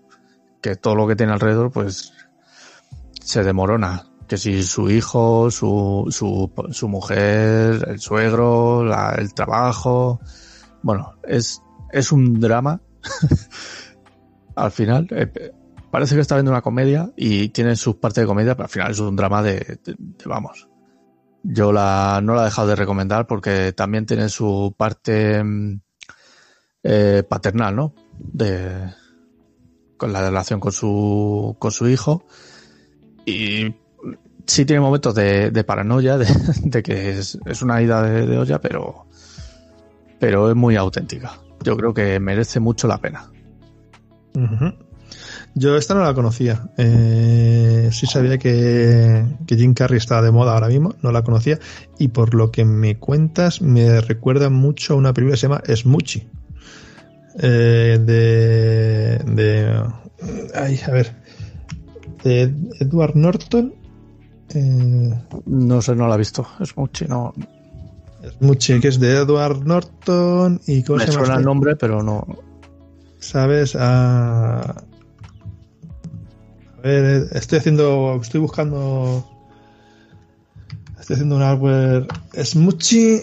Sí. Ah, mira. Pensaba yo que era. Que era. Eh, que es con John Williams, Edward Norton y Danny DeVito. ¿Vale? Uh -huh. Y es, es, también de estas cosas de, series infantiles, ¿vale? Y, bueno, voy muy rápido para no meterme en tu parte, ¿vale? Eh, Robin Williams es un, es un, es un actor de, de, series infantiles, ¿vale? El, que está ya un poco ido de olla, ¿vale? Y llega el sustituido por Edward Norton, que es un tío que se disfraza de rinoceronte rosa y para en, en el programa televisivo y, y, es la historia de cómo eh, Robin Williams intenta recuperar su trabajo, intenta arruinarle, etcétera, etcétera, etcétera. Merece la pena verla. Él tiene muchos años y, y, es de estas cosas que hace Dani DeVito porque tiene más dinero que Alemania, como digo yo. Puede hacerlas. Es, es de lo mismo que has dicho tú, ¿vale? Sí. sí, va por ahí también la serie. Exactamente. Es como que pierde el trabajo y a la vez lo quiere recuperar y a la vez llega una multinacional que compra el show, le quieren cambiar cosas, así. Exactamente, eso, eso, eso que acabas de decir tú, de que, quieren verle cosas al show y quieren hacerlo para que vendan más, más cosas azucaradas y miran, etcétera, todo eso está, está en la película. Sí. Bueno, pues la siguiente serie que nuestro compañero Pacheco estaría muy orgulloso de que la trajera aquí, que ha acabado este año en Marvel Agente de Ciel. Que este año, ¿cuál ha sido la séptima temporada? Creo la última. Mm, creo que sí. Eh, se empezó a ver en Movistar, yo la terminé de ver en Disney Plus, porque Disney Plus la trajo el tirón y Movistar la traía semana a semana en Fox. Y Fox lo malo que tiene es que sus capítulos lo mantienen en, en el bot, ¿no? En, hmm. en bajo demanda lo mantienen muy poco tiempo. Entonces dije, bueno, si ya está en Disney Plus, pues ya me la veo el tirón. Y esta última temporada como ya hemos hablado de anterior, no voy a contar de qué va la serie. Esta última temporada se ha, basado básicamente más o menos como en viajes en el tiempo también, ¿no? Pero han ido hacia atrás y han ido recorriendo toda la década hacia adelante, pasando por, por, por los momentos claves. O sea, no han ido a la Segunda Guerra Mundial, pero sí han, empezaron en, en los 50, creo. Y te cuentan más o menos las cosas de los 50 del cine, y el capítulo de los 90 es súper... a mí me encantó porque está lleno de guiños a las pelis que hemos, con las que hemos crecido. Y, y las series también. Y bueno, la serie ha ido mejorando con los años y esta última temporada, aunque ha sido muy así un poco más light, el final yo creo que, que está muy bien, merece la pena. No creo que sea de los mejores finales de serie, pero creo que es un final digno y, y no sé si volverán a aparecer estos personajes por el universo Marvel. Yo creo que como mucho Phil Coulson, pero bueno, ahí están. Y la última serie, que esta también la hemos, la reseñé yo en el blog, que es Deusland, Deusland 89, que me alegro de que se acabe para no escribir más Deusland, porque me costaba, me costaba horrores escribirlo y más decirlo ahora. Y ha sido tres temporadas, de Urlan 83, de Urlan 86 y de Urlan 89 y te han contado pues lo que pasó en esos años básicamente en Alemania. Es una otra serie de espionaje y va repasando los, los eventos más importantes de esos tres años y, y el chico este eh, es como un espía doble, ¿no? Nunca sabes si está de un lado o está del otro. No sabes si es de la RDA o de la RFA. Y gracias a eso, pues te va contando lo que había a los dos lados. En la segunda temporada es más internacional, viajan por África y en esta última temporada han vuelto a Alemania. Yo creo que se iba a centrar más en, la caída, lo que es eh, la caída del muro de Berlín, ¿no? que fue en el 89, pero eso queda muy al principio y luego te va contando pues más las consecuencias que tuvo en Europa y creo que ha sido la peor temporada de las tres. Pero aún así a mí me parece una buena serie para ver si te gusta el género del espionaje y, el género histórico, pues está bien. Y ya está. Esto ha sido mi, mis sextas recomendaciones. ¿Algo que decir? Yo de series ya te digo que no he tenido el gusto de, de gastar tanto como tú. Además me, me he dedicado y estoy dedicándome actualmente más a series de dibujos. De todas las que me cuentas, tengo ganas de ver Mr. Robot. Me abriste el apetito con Homeland, pero creo que Homeland se me va a hacer muy larga para verla actualmente. Hmm. Y, y a gente de Siel necesito que Pacheco me dé más la brasa con ella. Así que de momento me, voy a quedar con la selección que tengo actualmente. Pues nada, vamos a escuchar a, a otro compañero, en este caso compañero de Cornetín que es Daniel Pérez, y a ver qué nos cuenta. Yo creo que nos va de un videojuego. Muy buenas jugones, aquí el Gordo Pérez para haceros una pequeña, pequeña recomendación muy cortita sobre un juego que me ha sorprendido mucho y muy gratamente. Se trata del juego de los creadores chinos MiHoYo, no sé si lo estaré diciendo bien, no se trata de otra cosa que Henshin Impact. Es un juego que ha salido en todas las plataformas, PS4, ha salido en Switch, en PC, incluso en iOS y Android.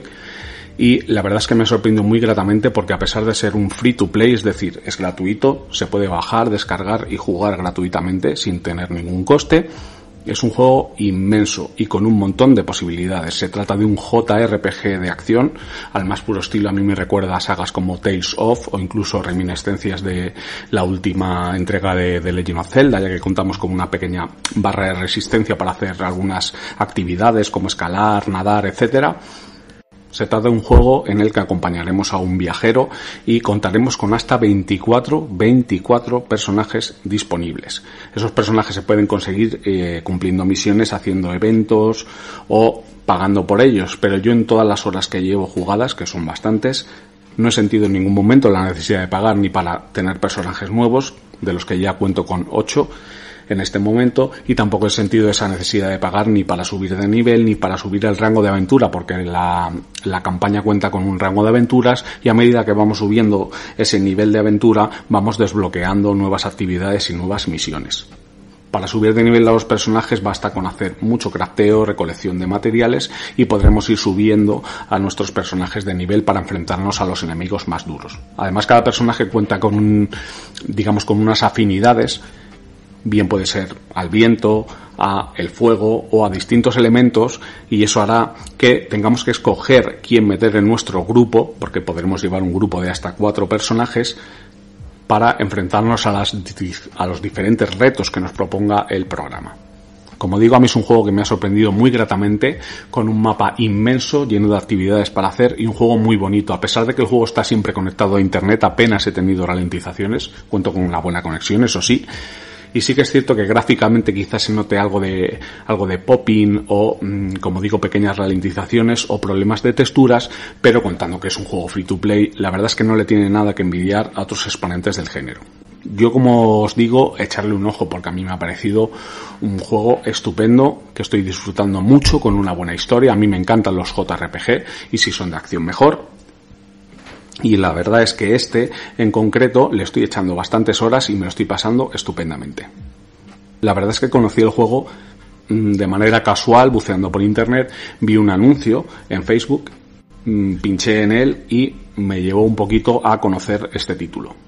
Además, las opciones de personalización son muy grandes y la historia, no os voy a estripar nada de la historia, pero la historia me está pareciendo, mm, al menos, eh, bien trabajada. Y su salida fue el 28 de septiembre de este mismo año.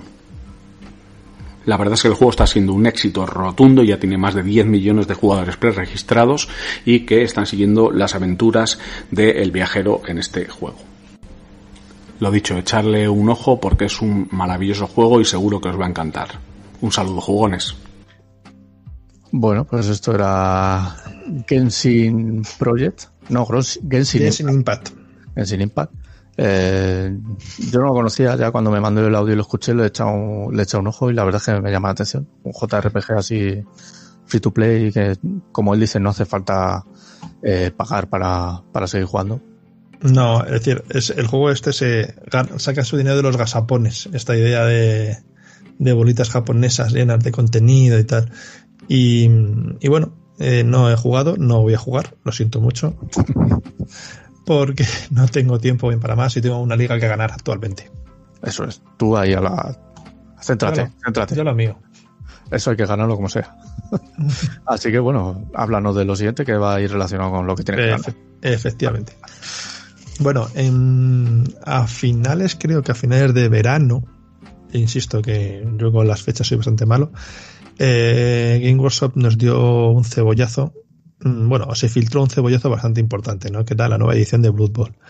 Y, mm, y lejos de ser una, un remozado de las reglas que ya se tenían, sí hemos, sí creo que estamos ante em, la primera edición con grandes cambios que hay en este juego. Em, ya dedicamos un podcast entero a él, ¿vale? Eh, no voy a extenderme mucho en ese aspecto de lo que cambia o no lo que cambia, sino quiero contar la importancia porque eh, este cambio en general lo que viene es hacernos una apuesta por un juego, desde mi punto de vista. Eh, un juego que, que, bueno, que yo llevo mucho tiempo dándole y que ahora se ha popularizado un poco por el juego online y un poco por la, eh, el juego en mesa que se está viendo ahora y que la gente se empieza a apuntar. En la nueva edición de Blood Bowl mm, también tiene sus detractores porque hay ciertos cambios que no parece ser que la gente esté dispuesto a aceptar, ¿no? como es la famosa habilidad de pase o, mm, o cambios eh, que bueno que ahora se han confirmado que cuando hicimos nosotros el podcast no, no, no, no éramos totalmente conscientes porque pensábamos inicialmente que puede ser un error eh, y es que, por ejemplo, mm, las segundas oportunidades, esto los jugadores que, sepan de Blue Ball, se pueden utilizar todas las posibles en un solo turno, lo cual es bastante, bastante importante si estamos pensando en una remontada, en un, en un final de turno importante. Eh, la nueva edición de Blue Ball, además, eh, como siempre con la Game Workshop, las miniaturas son espectaculares. No se puede, en eso no hay duda alguna. Y bueno, eh, a mí sí me plantean ciertos cambios de, cambios en mis equipos habituales de juego. No puedo decir nada más que eso. Eh, recomiendo jugar a, a, Blood Bowl. Para mí es una forma de mantener además el contacto con mis amigos de toda la vida, que con el tiempo te vas distanciando y sirve pues, para echar un partido, una liga y verlos y comentarte un poquito de su vida. Y ya mm. está. No te puedo comentar más. A mí es un juego que siempre me ha llamado la atención y nunca, nunca he tenido la oportunidad de jugar. Pero bueno. Pues ya sabes, tío. Eh, eh, necesitamos jugadores para vencer a, a los otros eh, blogs y, y podcasts. Y Esto con tiempo. Como le dije a, a Pacheco con la con el campeonato de Fórmula D y tal, pues cuando tenga más tiempo en unos años que los peques sean más mayores, seguro que me apunto a, a muchas cosas de estas. Y yo voy a ir con mi séptima recomendación, que es otra película que he terminado de ver hoy mismo. O sea, si hubiéramos grabado cuando teníamos que grabar, esta película no habría entrado. Pero la, la empecé ayer por la noche y la he terminado esta mañana. bueno, este mediodía. Y la peli es Sound of Metal, de que ha traído Amazon Prime Video, pues hace muy poquito, el 4 de diciembre. La peli no es de este año, de 2019, pero aquí en España eh, Amazon la ha traído eso, este año. Y te narra la historia de un joven batería de, de una banda de música que básicamente son él y su novia. Y se da cuenta en un momento de que eh, está perdiendo audición, ¿no? Y te cuenta las fases por las que él pasa, porque no es que pierda un poquito, ¿no? Es que pierde de golpe, se queda creo que solo con el 25% o algo así. Y esto es el inicio de la película, no es un spoiler. Y mm, te cuenta las fases que él pasa por la negación, el frustración, el no querer aceptarlo aún sabiendo que no tiene más remedio, eh, la aceptación, el Mm, me da lo mismo, pero voy a seguir luchando por mi sueño, que es seguir tocando la batería. Y, al final la resignación y, y sobre todo creo que es, eh, bueno, el actor es Riz Ahmed, que es, yo desde que lo descubrí en The Night of, la serie de HBO, me flipa. Eh, creo que hace una interpretación en esta peli brutal, como lo hizo en, en aquella serie. Y es una, película, eh, yo creo que muy humana, ¿no? Sin ser una peli y yo creo que iba a ir más enfocada en la música y al final la música es muy, la toca muy de lado, solo al principio y un poquito en algunos momentos. Pero sí que notas en todo momento lo que él siente, ¿no? Cómo lo vive, sin forzar, sin forzar expresiones, sin forzar nada en cámara, sin tener que, que hablarlo ni, ni gesticularlo de alguna forma especial, sino simplemente con la fotografía, como cuando le enfocan a él, el sonido cambia, se distorsiona, lo escucha como lo escucha, y cuando no le enfocan a él, se, se escucha normal, como lo escuchamos nosotros. Y en ese aspecto tiene, tiene mucho, mucho que contar y mucho que, que aprender, ¿no? Yo tengo familia sordomuda y más o menos sé cómo, cómo es ese mundo, pero, pero la peli creo que es eso, lo cuenta muy bien y es muy interesante. ¿Y cuánto dura? Dos horitas. No sé si tú la tenías localizada. para, nada. Ahora mismo estaba viéndola un poco por la Wikipedia y por IMDB para ver un poco de qué iba y, bueno, es interesante. Eh, me parece que sí sería de las mías, así que espero... Es muy cine de autor, así, ¿sabes? Sí, te cuenta la historia y te cuenta su historia y sin grandes efectos. Y a mí me ha sorprendido muy gratamente y creo que va a estar nominado a los Oscars y se va a llevar algún premio, seguro.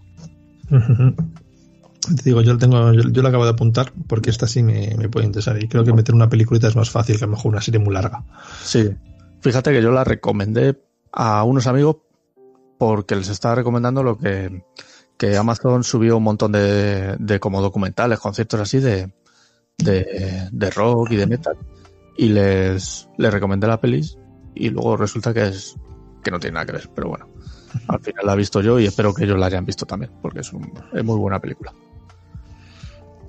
Bueno. Así que vamos a la ronda 8 y tu próxima recomendación. Bueno, yo me estoy centrando mucho en juegos, ya sean juegos de tablero, Están juegos de mesa, Están muy juegos de consola.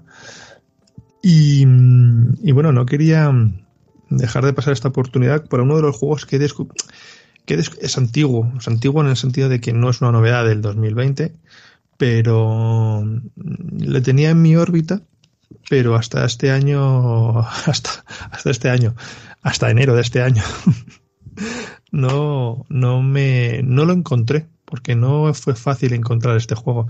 Estoy hablando de Cybersalles. Em, Es un juego de rol de esta categoría que se suele decir eh, indie, ¿vale? Y lo trae Bastión de Mundos. Mm, que bueno, pudimos hablar con ellos en uno de los podcasts em, de que grabamos eh, en unas jornadas de rol.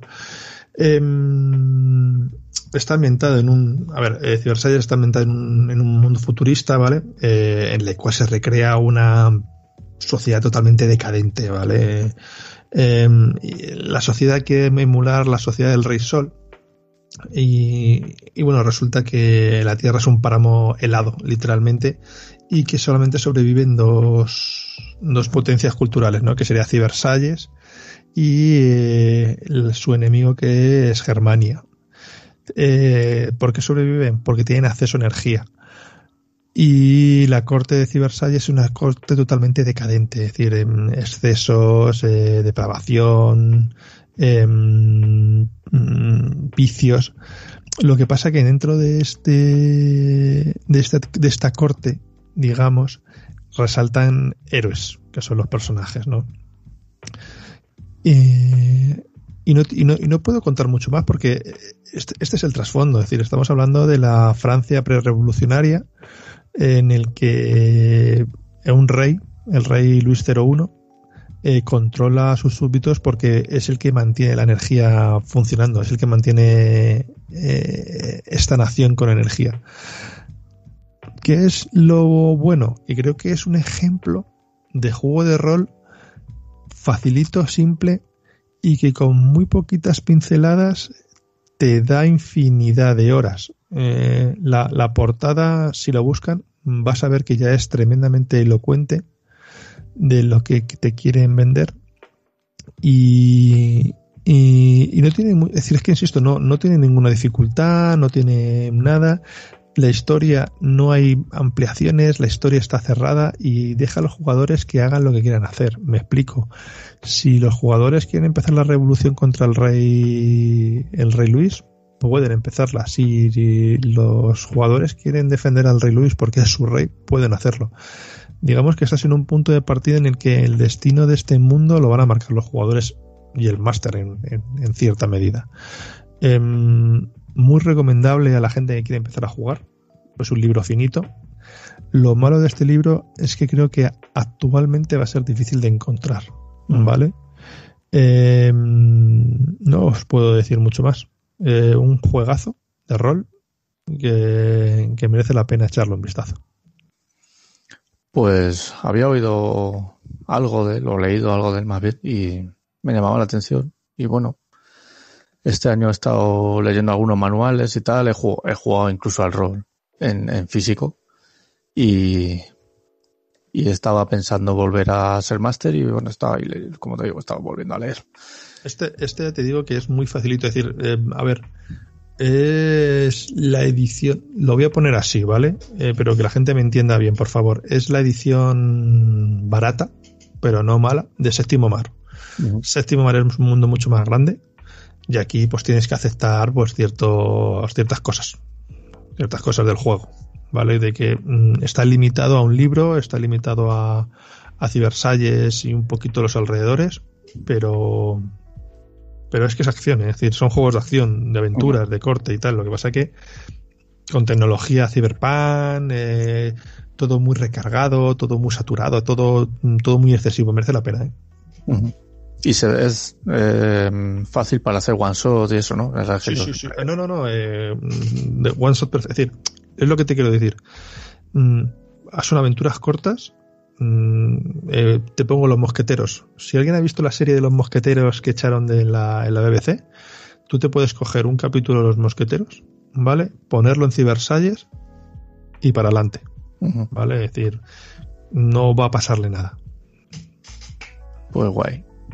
Lo tengo más en cuenta todavía. Y yo voy a, a mi octava recomendación, que vuelve a ser una serie. Porque sí. En este caso es una serie de animación de HBO. Eh, una serie muda. ¿Por qué muda? Porque nos cuenta la historia de un cavernícola, que como todos sabemos, los cavernícolas, pues hablar no hablaban aunque hacían ruidos. Y la historia de un dinosaurio, que todos sabemos que no, convivieron. Aquí sí, esto es una serie. No convivieron. Pero en la serie sí. en la serie conviven. Y bueno, además hay otros animales y, hay otros eh, otras cosas que por época no deberían estar ahí, pero bueno, que es una serie y, y como es una serie, pues se inventa lo que quiere. Y me ha impresionado mucho, porque como digo, es una serie muda, pero transmite eh, sentimiento, pero yo creo que es un exceso de sentimientos. Es que es que si amistad, que si el primer capítulo es súper triste, te cuenta la historia de, de la crudeza de, un cavernícola, la crudeza de un dinosaurio, de la familia, de el trauma que ellos viven, eh, luego te va costando, como digo, te va contando la amistad, eh, cómo sobrevivir en un mundo violento en el que no sabes qué va a pasar en, en tres segundos, eh, porque todo es hostil. Lo mismo andas por el bosque, te come una planta de estas carnívoras gigantes o te sale un depredador. Es una brutalidad de serie. Y se estrenó en 2019 los cinco primeros capítulos y en 2020 los otros cinco. Son diez capítulos de momento. Y yo los he visto todos del tirón este año. Y la verdad, al principio tenía mi reticencia porque decía, bueno, una serie muda, tal, no sé qué. Pero es una absoluta pasada. Y son capítulos de 20 minutos que te lo ves eh, en un santiamén. En lo que vas a, a, comer o cualquier cosa. Bueno, quizá no, para comer no es el mejor momento porque, como digo, algunos son muy tristes, otros son así. Pero bueno, es muy sangrienta la serie, muy sangrienta también. Y ya te digo, hay que verla. Es de las que hay que ver, yo creo. Bueno, pues está bien, la, apunto, porque son 10 capítulos, creo que sí podría añadirla en algún momento de mi apretada agenda. Y son 20 minutitos el capítulo, o sea que se va a ver muy bien. Vamos a pasar con nuestro penúltimo audio, que nos lo envían nuestras amigas de, del juego No Game Over. Y nos van a hablar, yo creo que de videojuegos. A ver qué nos cuentan. Hola, buenas, ¿qué tal? Yo soy Valle. Yo soy Andy.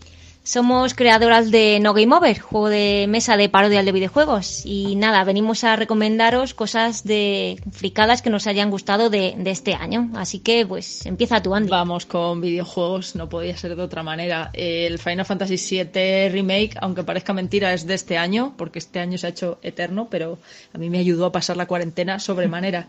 Eh, como fan del juego, de hecho es mi videojuego favorito ever, me ha parecido espectacular el remake, han ampliado muchas partes, se ve Midgar al completo, los personajes son maravillosos, incluso los secundarios que les han dado más peso.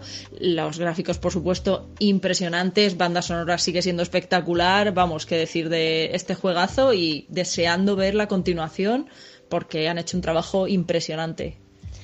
Pues yo también os voy a recomendar un videojuego, el Dragon Ball Z Kakarot, porque yo soy súper fan de, del anime en general y, y, Dragon Ball pues fue, fue una de las series que en mi infancia pues me enganchó al anime y jugarlo ha sido disfrutar bastante, tanto eh, a nivel de entretenimiento y tal, como a nivel de, de ver la historia, porque es súper fiel a, a, la historia del manga y recuerdas batallas tan épicas como la de Son Gohan con, con Célula.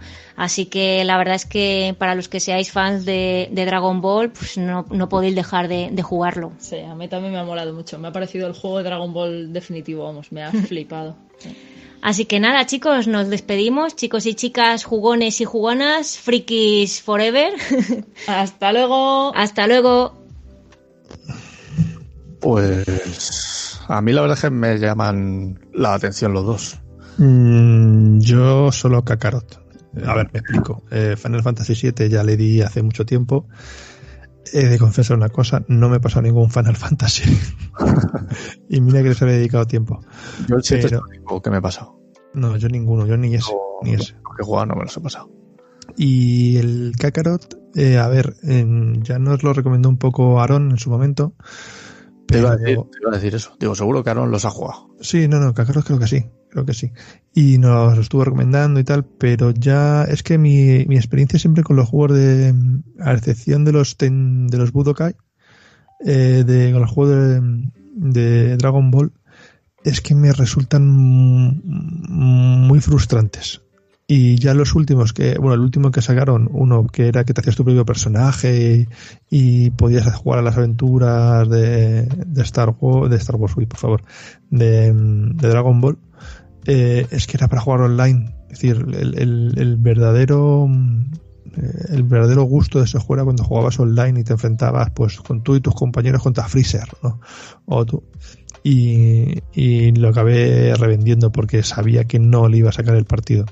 Y me daba miedo Kakarot por esto mismo, es decir, de que tuviera una historia como muy corta y luego me, me, me, me incitaran a jugar online, cosa que no quiero. Pero bueno, eh, por lo que están diciendo no es así, por lo cual le, vamos, le, le daremos una, una un, intento. un, intento. A ver qué tal. ¿Sí? Pues vamos a la ronda 9. La ronda 9 ya no sé. Bueno, en, ahora voy a recomendar una serie, fíjate. ¿eh? No he recomendado ahora más que una, al principio. a todo lo contrario que tú.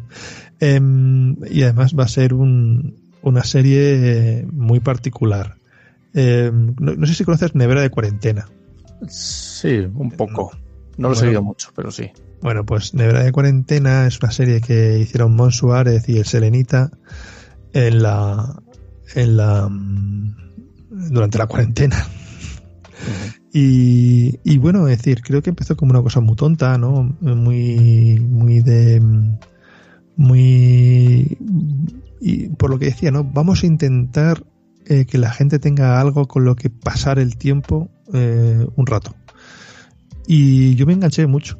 Y me daba mucha envidia porque por la, por la nevera pasaba mucha gente muy famosa y el final es, no sé si lo viste, es que era un, creo que era un sueño de resines, una cosa de estas, uh -huh. que era muy loca. Y ahora tiene una, nueva, una segunda temporada, ¿no? Que hacen un homenaje a, a, a The Office y está igual de bien como recordando cómo grabado los capítulos, en fin, impresionante, impresionante. Eh, se puede ver en, en, YouTube, en los canales, de poner nevera de cuarentena y te van a salir. Y, nada, vas a ver que Mon es muy gracioso, es decir, se, hace el tonto muy bien. Es muy, es muy divertida. Yo son de la gente que tengo que agradecer también que me animaran eh, los días de cuarentena. Igual, mira, tengo que decirlo también, porque no lo dije en la 1. Eh, eh, Javier Cansado, es decir, eh, y aprovecho ahora, ¿vale? Eh, porque también hizo una cosa muy curiosa, muy bonita, ¿no? Que era que jugábamos contra él en, ah, sí, sí. Eh, por Twitter, ¿no? Por encuestas de Twitter. Mm. nosotros íbamos haciendo los movimientos y jugábamos contra él. Y joder, las tardes se pasaban recargando la cuenta de cansado, ¿eh? Es decir, yo, yo me, yo te tengo que dar gracias por esa cantidad de horas y minutos que, que nos dedicó. Así que gracias cansado, gracias Mon, gracias Selenita por vuestro vuestro vuestro apoyo en estos días duros. Pues sí, muchas gracias porque estas cosas se agradecen. Yo la, la voy a buscar en YouTube y la veré porque ya te digo vi cosas sueltas y no no le no de seguido. Entonces si, si dices que está ahí entera, pues la veré en YouTube. Y yo voy a recomendar un videojuego. No es que me parezca lo mejor, ni el mejor videojuego del mundo, ni, ni el mejor del año, pero me parece que llegó en un momento, en el momento justo, y era un juego muy, muy fresco, que es el Fall Guys Ultimate Knockout, y que justo generó mucho movimiento en, en YouTube, en Twitch, en, eh, esto, en streamers, ¿no? Y, y yo me enganchaba ahí viendo a la gente en sus competiciones y jugué, se venía, se vino mi primo y estuvimos aquí jugando los dos a ver quién llegaba más lejos, tal. Y la verdad es que el juego es una, es como un humor amarillo, ¿no? Es como competiciones de, de pruebas así súper estúpidas en el que tienes que llegar a la meta. Eh, eso es como como unos muñecos que van corriendo así y tirándose, saltando. Bueno, casi todo el mundo sabe el juego que es. es un juego desarrollado por Mediatonic, que yo no tenía, bueno, no sé si tiene más juegos así conocidos, pero yo no, no los tenía muy, muy en el foco. Y le estuve, lo regalaron además justo con el PS Plus, que yo creo que ese fue también el, bombazo que, que, que les dio tanta popularidad y lo estuve jugando. Siguen, creo que no está en la temporada 2 y tal. Y bueno, no me he viciado tanto y ya no juego, pero, pero fue muy divertido. ¿Tú has jugado a, estos minijuegos? No, no, no, no. Al único de este tipo de juegos que he jugado es el Amon As, ¿no? El, de. El, es el, el, hombre lobo de Casto Negro, pues lo mismo, pero con, con, con soldados espaciales. Y bueno, está gracioso, está muy divertido eh, y es para pasar la tarde. Sí, Lo que pasa que mmm, se me hace duro la parte de esta negociación si tienes que estar escribiendo, ¿no? Que más se puede jugar con el móvil. Y, y así es, es horrible esa parte. Cuando tienes que defenderte escribiendo tú con el móvil. Y dices, bueno, pues que ya me maten y ya, ya reando. Y esto funciona así. Lo que pasa es que la gente está muy organizada. Cuando quedan en grupitos, juegan en Discord. Y ahí ya tiene otro, otro sabor. Sí, aquí pasaba también en, en el Fall Guys. Eh, pasaba lo mismo. Está en diferentes grupos de WhatsApp, todo el mundo había estado jugando. Oye, tú hasta dónde has llegado aquí, tú esta prueba te la pasas, la de la ruleta, esta, no sé qué. Y bueno, generó mucho. Yo me lo pasé muy bien porque es una chorra de juego, pero al final quiero destacarlo no por el juego, sino por el, el momento y por la por los buenos ratos que, que me hizo pasar. Mira, eso está bien. Y vamos a ir con la última ronda, que es la ronda 10, con la que acabamos nuestras recomendaciones, o casi. Bueno, esta la he incluido, mm, la he incluido un poquito en la última hora y tenía mis dudas, porque con, con el levantamiento del confinamiento hemos vuelto a jugar al rol como a mí me gusta, que es en físico. Eh, antes de que la gente se eche la cama a la cabeza y nos llamen inconscientes y todo eso, lo cierto es que hemos jugado no un grupo reducido, un grupo reducidísimo, pero reducidísimo. Es decir, somos exactamente cinco personas eh, y para que nos hagáis, eh, para que nos entienda la gente, es decir, soy yo, es L, el hermano de L y dos personas más del barrio, con lo cual mmm, estamos bastante concienciados en ese aspecto. Y bueno, eh, teníamos ganas de volver a jugar y actualmente estamos jugando una vez a la semana eh, al rol, eh, Chulu, Pathfinder y dos juegos que me he tenido que escoger eh, por uno. El primero que el primero, el que he descartado es Star Wars em, de Fantasy Flight Games Y bueno, me gusta mucho. Pero he de confesar que mis ojitos se van a la nueva edición de Leyenda de los Cinco Anillos. Hicimos reseña hace poco y nuestro compañero Taco, ojalá hubiera estado aquí, eh, no le gusta. No le gusta, mm, yo lo entiendo, porque es un planteamiento, es un planteamiento distinto conforme a segunda edición, a nuestra amada segunda edición, pero eh, las cosas avanzan y los juegos cambian. Y, y esto es un ejemplo. Eh, ¿qué, ¿Cuál es la mejor novedad de, de esta segunda edición? Es que siempre puedes utilizar, eh, bueno, eh, resumo mucho, ¿vale? Es decir, Leyendo los A5 Anillos es un juego de tirar y guardar dados, es decir, tiras una cantidad de dados y guardas una cantidad de dados, y siempre tenías un poco límite en la cantidad de dados que guardas por tu, por tu característica de anillo. Eso se ha dejado más libre, ahora es un juego mucho más interpretativo y puedes afrontar los problemas desde diferentes puntos de vista, ¿no? Desde adaptarse más, con lo cual tirarías, por ejemplo, en el anillo de agua, a ir, intentar hacerlo mucho más tranquilo, ¿no? que tirarías anillo de vacío, por ejemplo, o ser mucho más impetuoso que te tirarías, por ejemplo, anillo de fuego. Con lo cual, para enfrentarte a un problema o a una tirada, puedes intentar ver cómo lo vas a enfocar y tirar ese anillo. Y creo que eso es el éxito que tiene esta última edición de, de, de Leyenda de los Cinco Anillos. Mm, no gusta a nadie, o gusta, bueno, no gusta a nadie. Eh, no gusta a nadie de la antigua escuela, mejor dicho. Yo soy de la antigua escuela y me gusta, pero sé lo que estoy jugando. Estoy jugando otra cosa, no estoy jugando leyendo los cinco anillos de segunda, estoy leyendo la nueva leyenda de los cinco anillos que creo que está muy bien. Mm. Y, te, y, tengo una mala noticia para ti. En este eh, es necesario desarrollar el personaje, es decir, no es, no es para hacerlo en un one shot. Mm, creo que juega a los cinco anillos la, la edición antigua. pero el máster creo que no era el adecuado. bueno, pues eso ya. Y la experiencia no fue excesivamente buena. Pues eso ya no está, no está en esta ventanilla. Ya. Él lo sabe, que su ventanilla ya tuvo sus, sus reclamaciones. ¿Sabes? Pero bueno, es, lo que, es lo que hay. A veces vamos buscando y cuando empezamos, porque mi, mi mi amigo luego nos ha dirigido otro juego después y lo ha hecho, lo ha hecho bien. Pero bueno, cuando empiezas, a veces te equivocas y a veces no. De todo se aprende. Si no, todo el mundo se nace sabiendo.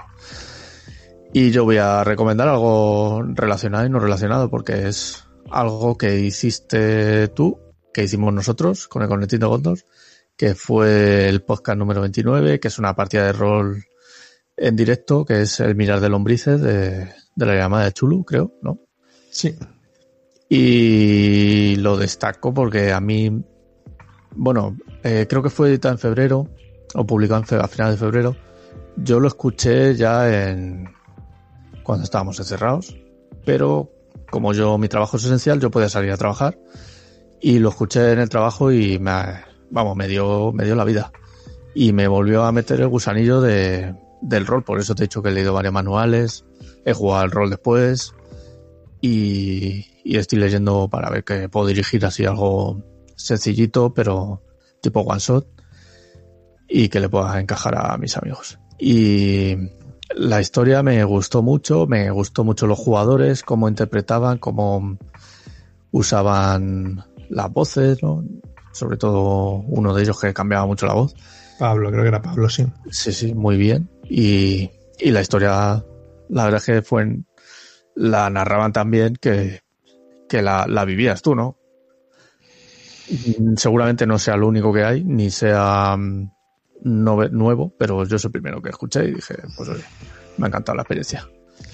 Vamos a ver, eh, eh, a ver, gracias. Es decir, porque esto eh, fue como una especie de apuesta que hicimos nosotros ahí a tope y, y salió bien, porque salió bien, de verdad pero de todo se aprende y,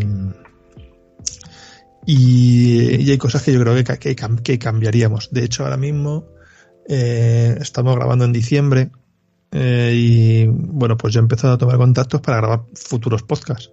Mm. Y uno de los que quiero retomar es el de la partida de rol, eh, porque la experiencia me moló mucho. Lo que pasa que, bueno, tenemos un problema. Y el primer problema es que eso se grabó y se grabó también porque estábamos todos en el mismo sitio y estábamos eh, con el apoyo de bucaneros que nos cedieron parte del equipo, micrófonos, un pie de micro, un sitio, todo. En, parte del éxito de ese podcast vino, vino por ellos.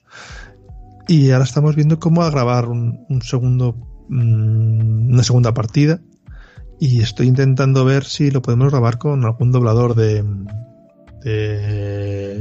algún doblador de, series o de cine. Pero ya digo que las cosas van despacio porque vamos a ir cerrando el 2020. Le vamos a poner un lacito y a ver si nos olvidamos de él. Por pues favor. ¿Sabes? Entonces ya os digo, em, en ese aspecto eh, gracias. Y, creo que lo vamos a intentar, vamos a intentar hacer de nuevo. De hecho, mi intención el año 2020 en versión normal era de que eh, se hicieran dos programas más de una partida de rol. Pero vino el 2020 y, como digo, arrasó todo. Todo, todo, todo, todo, todo. Pues sí, es lo que, es lo que ha tocado. Y vamos a escuchar la última recomendación de un compañero, que es nuestro amigo y compañero de, del Cornetín, Pacheco. Buenas, compañeros. Muchas gracias por invitarme a otro año más al podcast del Cornetín de Gondor. Mi recomendación de este año va a ser la serie de Bodyguard, una serie de la BBC inglesa que aquí en España se puede ver a través de Netflix. The Bodyguard es una serie de acción y drama que parte de la misma premisa que Homeland. Se cierne un grave atentado contra el país, en este caso contra Reino Unido y también contra su secretaria de Interior, Julia Montague. Para proteger a esta secretaria, le nombran un guardaespaldas, que es el sargento David Wood, el cual es interpretado por Richard Maiden, que muchos le recordarán por ser Rob Stark en Juego de Tronos. Eh, David Wood, o Rob Stark en Juego de Tronos es un veterano de guerra que tiene un estrés postraumático y además tiene una inquina personal contra esta secretaria, lo cual le hace situarse en el centro de todas las miradas de quién podría ser el principal sospechoso del atentado. Esta miniserie solo dura seis episodios de una hora aproximada y no deja lugar a que el espectador se pueda tomar un momento de respiro, porque la trama avanza rapidísimo. Eh, la serie, eh, lo, vamos, lo que trata principalmente es de ver quién gana más poder si hubieran atentado dentro del Reino Unido. Si el gobierno, la policía, el Ministerio del Interior, la contrainteligencia. Esta serie es tan buena y se ha llevado tantos premios, sobre todo por Richard Maiden, el actor principal, el cual se ha llevado dos globos de oro a casa gracias a esta serie y para mí es el que le da de verdad crea credibilidad y, que, notes la tensión en todo momento de, lo que está pasando. Para mí, desde luego, esto es una de las series del año y por eso la recomiendo. Muchas gracias, compañeros. Pues ahí estaba Bodyguard. Bueno, eh, ya la recomendó hace tiempo, bueno, en, la reseña que hizo, y yo ya se lo dije que yo la tenía apuntada. Estas son de las que sí quiero ver cuanto antes. Yo también la tengo, la tengo pendiente. Y al ser miniserie, seguro que este año he visto muchas miniseries que tenía ahí pendientes. Y ahí, bueno, pues intentando rebajar la lista, cosa que es imposible porque cada año salen más y más y más series. Así que es complicado ese tema. No, no, no, vamos, no te digo nada. Te iba a decir, ¿no? Si tenías alguna cosa que se te ha quedado fuera. Porque yo, he dejado. Yo he, dejado, he ido borrando, he ido metiendo. Y. Pues, joder, pues a ver, seguro que sí. Em, eh, pero son cosas como a lo mejor muy particulares o muy. o, que todavía no están ni desarrolladas. Em, eh, esto va, va a sonar mal, pero he, he redescubierto el Magic, el Magic sano, entre comillas eh, con un formato mm, casual, que es Commander, eh, que bueno, que me lo presenta igual, es decir, eh, creo que el confinamiento y el, y el posconfinamiento te han, descubierto cosas Y digo, Commander ha sido una de ellas. Eh, mazos muy grandes, sin cartas repetidas, etcétera. No, no, no voy a meterme mucho porque vamos a hacer una reseña sobre esto. Ya la tengo metida. Em, tebeos, muchos tebeos eh, y, mucho, y muchos módulos de rol. Estoy desempolvando viejos módulos ahora mismo, ¿no? Es decir, estoy, por ejemplo, ahora mismo con Vampiro Requiem o Estirpe de Oriente, el mundo de tinieblas. Y no te podría decir más así. Al principio, mira, sí, eh, Crest of the Crypt. Sí, al principio empezaba, no, si la ronda 2 empezaba con Anfibelandia y tuve que escoger, recordaría Crest of the Crypt también, un poquito por las mismas razones. Eh, es un chaval, muy rápidamente, ¿vale? Que las tardes después del colegio las pasa en el, en el bosque al lado de su casa y, y lo que mola es que una vez que se meten en el bosque es un universo totalmente distinto. Además es un universo de fantasía totalmente distinto y es un universo de fantasía creado por niños, con las reglas de los niños y con las cosas de los niños. Y mm, igual, eh, mm, creo que muchos adultos pueden verla y, y ya no verse reflejados, entender, en- entender lo que están viendo. Es decir, lo bueno creo que de esa serie es que trata a los niños como personas, no como seres pequeñitos. Y no tengo mucho más que decirte así en plan mm, de cosas que me haya dejado. Pues yo cosas que tenía puestas y que al final he ido cambiando, por ejemplo, El juicio de los siete de Chicago, que era la última peli de Aaron Sorkin que se estrenó en Netflix, la peli de del Faro con William Dafoe y Robert Pattinson, que se estrenó a principios de año y, y es una es, eh, es como es es una historia de la locura, ¿no? Muy chutuliana, pero sin sin sobrenatural. Eh, también un documental que vi que me, me impactó mucho hace poquito, El dilema de las redes, también en Netflix lo vi. Me gustó mucho cómo, cómo te cuenta lo que influye en las redes sociales en, el mundo, en la política y en, tantas y tantas facetas de, la vida personal y laboral. Eh, otra serie, por decir, como he dicho pocas, pues una más, de Liberator, la serie de Netflix de, de la Segunda Guerra Mundial, que es de animación, pero no es animación, porque son personajes, son actores reales. Y series documentales como The Last Dance, Hip Hop Evolution, Tiger King, Last Dance, la serie de Jordan, que llegó también justo en el confinamiento, y fue, pues, una, para todos los que la NBA y, que no podíamos ver baloncesto, pues, fue la serie del momento.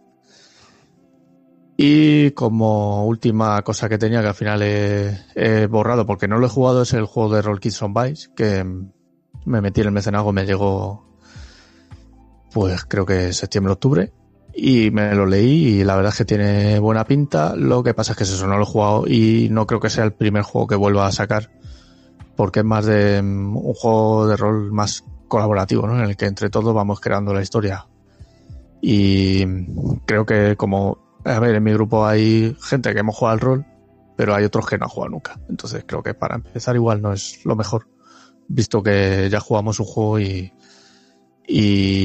tiraba más de lo que hacíamos los demás y que les guiáramos a, a, crear una historia entre todos.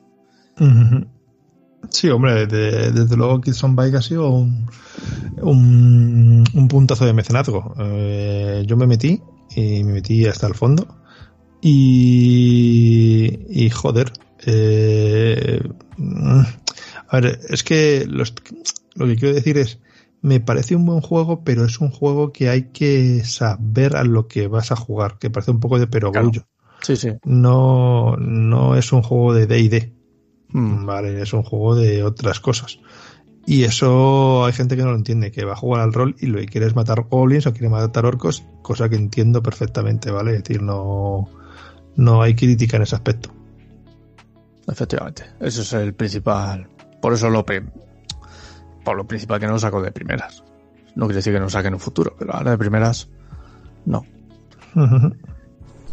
Atención, nos acaba de llegar un audio de última hora y aunque el jefe Calla no está por aquí y no podemos dar nuestras opiniones, lo incluyo porque es del gran PJ Cleaner de unos podcasts que yo sigo y que nos va a hablar de más series porque ¿por qué no? Seguro que hay tiempo para ver series si os falta alguna de estas que hemos recomendado a lo largo de hoy, de, la- de todo el podcast, para que las podáis ver en este 2021. Muy buenas, queridos y queridas oyentes y amigos del Cornetín de Gondor. Eh, aquí PJ Cleaner de los podcasts Series Reality y La Constante acude a la llamada para comentar esas cositas que más nos han gustado este 2020 que acaba o acabó. Eh, como siempre digo, para mí es muy difícil el establecer eh, un top eh, debido a que veo muchísimas cosas. De hecho, siempre los tops que hacemos en La Constante dejo fuera las series que no son de estreno, es decir, dejo fuera segundas temporadas. Y si me van invitando como aquí a comentar mis em, series favoritas o recomendadas del 2020, pues es fácil que de un sitio a otro varíen. Hoy me voy a centrar en tres series que han sido mm, un lugar feliz, eh, un lugar de disfrute y de pasar esos ratitos amables en la televisión en un año difícil. La primera es Ted Lasso, para mí una de las mejores series del año, todo un descubrimiento esta serie de Apple TV Plus, de este entrenador eh, de fútbol americano que es fichado por un equipo de la Premier, eh, todo un despropósito y una serie simpática y que te llega a la patata. La siguiente es eh, Todas las criaturas grandes y pequeñas, una serie británica estrenada recientemente en España a través de Filming, de tan solo seis episodios, aunque ahora tendremos o habremos tenido un especial de Navidad eh, cuando escuchéis esto, y ha sido renovada por una segunda temporada. Y es de estas típicas eh, series inglesas que mi compañera de podcast dice de tacitas, donde tenemos un, en los años 40 pues unos veterinarios, eh, la campiña inglesa y la relación que se establece entre ellos y sus eh, gajes del oficio con la gente del pueblo, muy muy entrañable, muy recomendable también. Y por último una serie australiana, eh, aquí llegó a través de Sundance TV, creo que está todavía disponible en los operadores donde tengáis Sundance, que se llama Alright.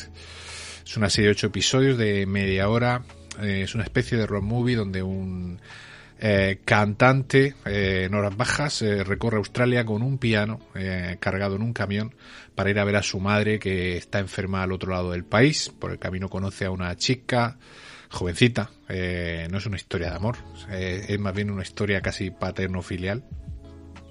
Y es una historia maravillosa. Estas tres series, recordad, Ted Lasso, A Right y todas las criaturas grandes o pequeñas son mis recomendaciones para este inicio de, de 2021, finales de 2020, según donde nos encontréis cuando escuchéis esto. Un abrazo para todos.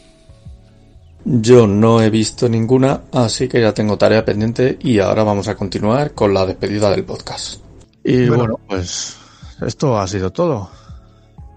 Ya no tenemos, bueno, podríamos seguir recomendando cosas, pero bueno, Pero pues, no sé, se, va, se va a hacer largo y esta gente querrá irse a casa, creo yo. esto es lo que queremos destacar de este 2020. Nosotros dos, si hubieran estado nuestros compañeros, habría muchas más cosas, pero bueno. Esto es lo que hemos extraído y lo que hemos, os hemos dejado. Así Pues- que despide, despídete. Bueno, pues yo me despido. Eh, quiero darle las gracias a toda la gente que nos está escuchando por, por la paciencia, y por- sobre todo por escucharnos a, a estos dos individuos. Y, y espero que el 2021 eh, sea el año mm, de tránsito a la normalidad normal, no a la nueva normalidad, que eso no existe. O sea, solamente hay una. Y, y de verdad, es decir, eh, cuidaos mucho, cuidaos a la gente, eh, seguid escuchando, leyendo y viviendo el cornetín y a ver si podemos volver a retomar nuestra actividad normal, porque no hemos podido todavía y os traemos cosas nuevas. Pues sí, a ver si podemos volver y yo puedo volver a grabar más podcasts, porque últimamente estoy un poco desaparecido. Bueno, no pasa nada, no pasa nada. Aquí lo importante es que estás, que estás vivo y que estás bien. Así que nada, nos seguimos viendo y nos seguimos leyendo eh, otra vez más en el Cornetín de Gondor.